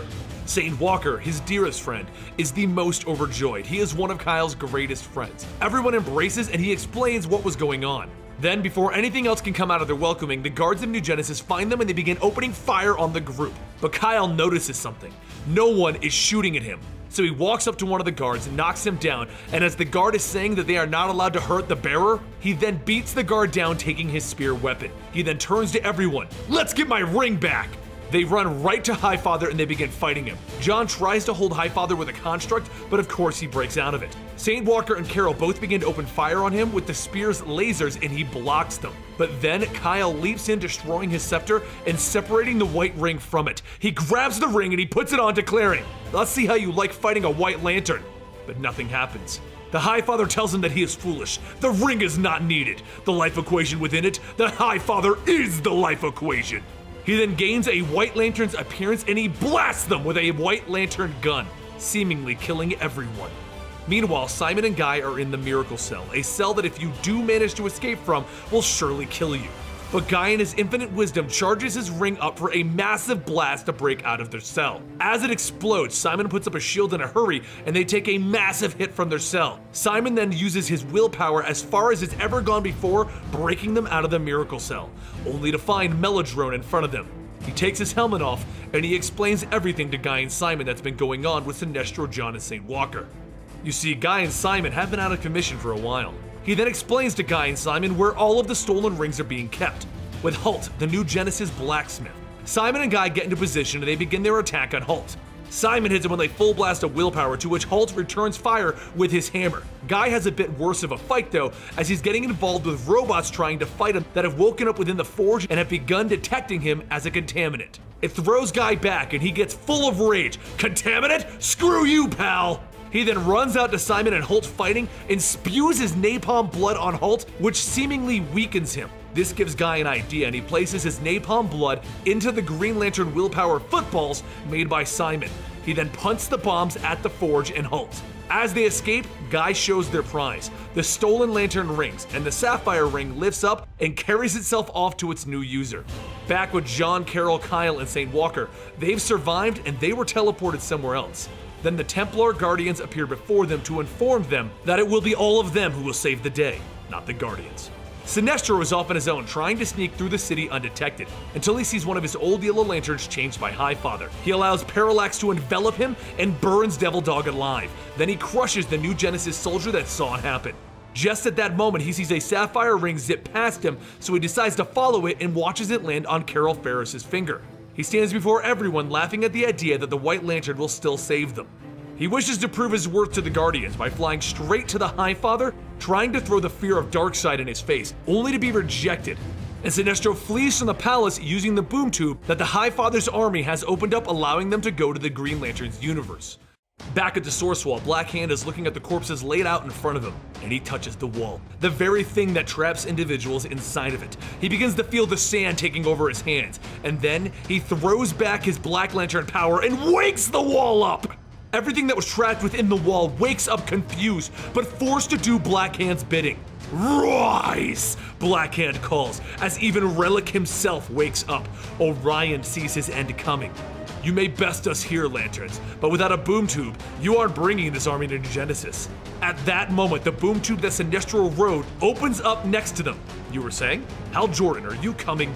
Then Sinestro, Blackhand, and Hal dive into the boom tube, and Blackhand turns back to his army. Follow me, friends! So the wall of zombies begin to come through as well. Let's play! Everything that was trapped within the walls begins to attack and destroy New Genesis. Some of them are even calling them the Wall Titans, as they are massive beings from the time before. And the High Father calls this madness. Hal tells Black Hand to keep the new Army Genesis busy while they go after High Father himself, and Black Hand smiles. Over with John, Guy, and Simon, they all join the fight, but Carol stays with Kyle as the Guardians argue over telling Kyle the truth. They agree to and they approach him. Highfather does not have the life equation. He has tapped into your mind to use it. It is still in your body and you will still die from it. On the battlefield, Blackhand begins to lose control of the beings that he raised from the dead because they are resurrecting. They are returning to life. And Blackhand's arms begin turning into the wall itself. He shouts, Hal Jordan, you knew this would do this to me! And he flies back through the open boom tube right past Relic that is staring at the now empty wall wondering what changed. With the Source Wall Titans stopping their onslaught due to confusion, the new Genesis army surrounds Sinestro and Hal. Over with Kyle. He knows what this means, and after debating it and Carol trying to talk him out of it, Kyle goes into the recesses of his own mind to find the High Father there. While this is going on, John Guy and Simon go to the prison cells and they free the rest of the lanterns and as Hal Jordan is being taken by the army, he leans over and he shouts to the High Father, You are taking people's free wills. You are starting a war that will kill billions, and all to create an army against Darkseid. Don't you get it? You are becoming Darkseid. The High Father stops and says, No, what have I done? The Source Titans keep crushing the city of New Genesis, killing thousands, and no one even knows who to fight anymore. It's only death and destruction over the entire city. Realizing that he needs to end this, the High Father goes back into the Mindscape, where he gives the life equation back to Kyle Rayner. You are worthy of the life equation, prove it now, Kyle. Kyle wakes up with his powers returned. Source Titans? That doesn't sound good. Everyone take cover. He takes off into the sky and he bombards the planet's surface with the power of life. Saint Walker watches as his friend returns to full power. Highfather is remorseful as he realizes the humans did what he could not. They saved everyone. The problem is that the Source Titans have damaged the anti-gravity device in the city, and New Genesis is now barreling down towards the planet's surface. Hal sees so much death coming, and he tells Sinestro that they need to save it, but Sinestro argues. It is time to take our win. Kyle begins to fall to the surface as every time that he bombards an area with life, he passes out. Carol catches him while the High Father orders the city to evacuate. Sinestro takes off for home, but Hal is not done yet. He flies beneath the city, literally catching it with a giant construct of himself. Hal will keep fighting until the end, even if it means saving his enemies. But it's not enough. He doesn't have the power to catch the entire city. Luckily, Saint Walker is filled with hope, thanks to seeing the White Lantern return, and his ring has sensed it. It declares, Hope detected, and he declared, All will be well. He super juices Hal Jordan's ring to 300%, turning his miniature construct of himself into the size of the island itself. Then, using everything he has, he puts the city down gently before collapsing and having John catch him. He asks, Is everyone safe, John? They're alright, Hal. Take it easy. High Father approaches Kyle and he tells him that he misjudged him. If this world is destined to be the final battleground of New Genesis and Apokolips, then they have proven that they are worthy. Return to your world with my sincere regrets, and know that we are adversaries no more. As they begin to leave, Guy comments, Is it just me or is the guy to girl ratio here on New Genesis a little skewed? Way to go, Guy. Always inappropriate at just the right time. Kyle then catches up with Hal to apologize for the whole Carol thing. Hal tells him, It's fine. I'm over it. Just treat her good, otherwise, then I'll be pissed. Kyle tells him that Hal and Carol should talk, but Hal dismisses it. We will one day. Everyone boom tubes home where a simple forest critter takes Mogo's ring and it runs it over to his branch. The planet Mogo reawakens thanking everyone and the story of Godhead comes to an end.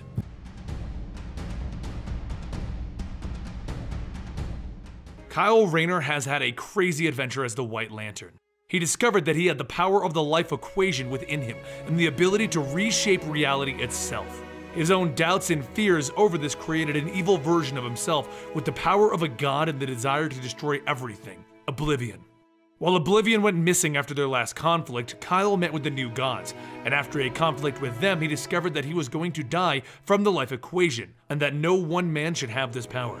Now that everything has calmed down, we go to Carol Ferris of the Star Sapphires, sitting on Zamaron looking at her ring. Kyle flies over to her as she's sitting there. She tells him she wants to talk finally. After everything that they've been through, she wants to say she loves him, and that's her problem, because she also loves being a Star Sapphire and flying and the space adventures and the travel. They fly up into the air together and he holds her close. Suddenly, they get a message that something massive is coming towards the planet. It's huge and flaming from entry into orbit. They both move out of the way in a hurry, but Kyle throws up a shield as it collides with the surface of the planet. Carol's ring reports no deaths on the planet, and then as the dust clears, they see what it is. It's one of the beings from the source wall that Blackhand awoke in the Godhead event, and it's been scorched with the White Lantern symbol. Someone is calling out Kyle. They follow the symbol back to a planet that's been destroyed, and they find the one surviving member of the alien race that once lived there. She is scared of Kyle because he is wearing the symbol of the White Lantern. It's a symbol to be feared on this planet. Because Oblivion is here! He wraps around Kyle, enveloping him, swallowing him, telling him, This is the end! This is Oblivion! Kyle is trapped within Oblivion's makeup, and he decides to inform him. Kyle, you will tear the universe asunder. It's inevitable. You know this. That is why you created me. You call me Oblivion because you know the truth. The universe would be better without you. Kyle breaks free, hitting Oblivion across the face. You want to fight? You got one. On the outside of Oblivion, Oblivion is fighting against Carol, breaking through her shields and telling her that he can't escape his nature. Until the alien blasts him in the back with a gun. Oblivion grabs the alien and begins swirling around her, and Carol tries to fight against him until white light begins to pour out of Oblivion, and Kyle explodes out of him. Would you shut the hell up? Carol catches the alien and Kyle tells her to get out of here, go! She tells him that she isn't leaving him with this monster, but Kyle doesn't want her to go. She knows what she needs to do. So Carol takes the alien off world, leaving Kyle alone with his own demons. Reality around Kyle and Oblivion begins to shift back and forth as the two of them fling the life equation around. Back and forth, over and over, they fight at a complete standstill. Kyle is powerful, but Oblivion is his own reflection and has the exact same power. Oblivion explains. Kyle knows the truth. He knows that he'll try to do the right thing, he won't alter life, but eventually he'll grow tired of those that oppose his hand. He'll dig deeper into his own self righteousness, and eventually, he will remake everything until it is of his liking. Kyle grabs Oblivion. That will not happen! It will! You believe it, or I wouldn't be here! He then throws Kyle down and he begins to absorb Kyle into himself. That's when Carol returns with what Kyle asked her to bring hope. Because she brought Kyle's friends. They all swoop in and they begin battling against Oblivion, throwing everything at him. All of them, the ones that stood by him when he needed it. With their weapons, they are able to cleave pieces of Oblivion off and hit him with the power of pure willpower. Kyle is drained and weakened by Oblivion's attack. He doesn't know what he can do any longer, but Oblivion tries to absorb the power that they throw at him, growing larger and larger. It's Saint Walker that tells the group, I don't think it's working. Kyle sees that they are feeding Oblivion, and then Oblivion explodes, pushing everyone back and reforming. Oblivion gets so strong that he can even alter reality for the Templar Guardians, and Kyle sees only one answer. He needs to end all of this, end the White Lantern rings, which will end Oblivion. He will sacrifice himself for the good of the galaxy. Again. But Saint Walker and Carol stop him. He isn't going to do it this time. He isn't going to sacrifice himself again. There needs to be another answer and Carol gives him an idea. If the burden of the White Lantern is too much for him, change the game. Don't end the game. Kyle thinks about it and he comes up with the perfect answer. One person can't handle the life equation, so he asks for the Templar Guardians' help. He asks them to help him make more White Lantern rings, because this looks like a job for the White Lantern Corps. Unlike the rings that came out of Blackest Night, these rings will be permanent, and they will spread the life equation out there so it can't consume one person. But if it's ever needed, the rings can reform into one single ring again to stop a great evil. The rings fly off to six individuals, telling them, You have the ability to preserve life in all of its forms.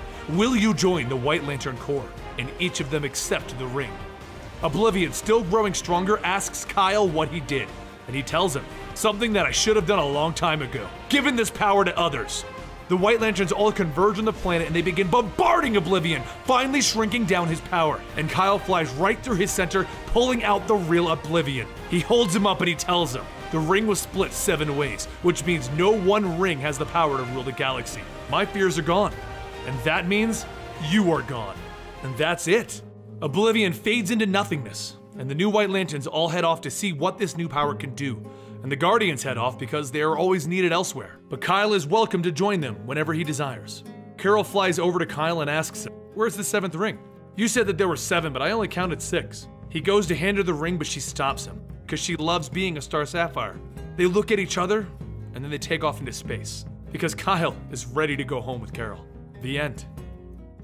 And there you go, what we are calling the White Lantern Saga. Now, as I told you, we're going to be covering the Blackest Night and the Brightest Day in a much longer format, more akin to the style of content that we do now. But either way, I hope you enjoyed this. Just getting a nice Cliff Notes version of what happened with Kyle Rayner as the White Lantern and how he officially ended it. Now, as you can tell at the end of this storyline, the White Lantern ring is kind of out there doing various things with various other individuals.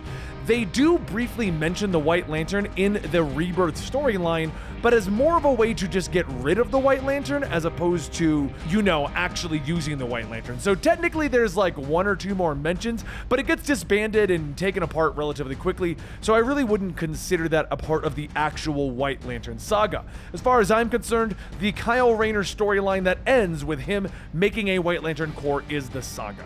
Now, if you enjoyed this video, please consider subscribing to our channel, give this video a like, and let me know in the comments down below what you liked the most about the White Lantern ring. And I'll see you next time right here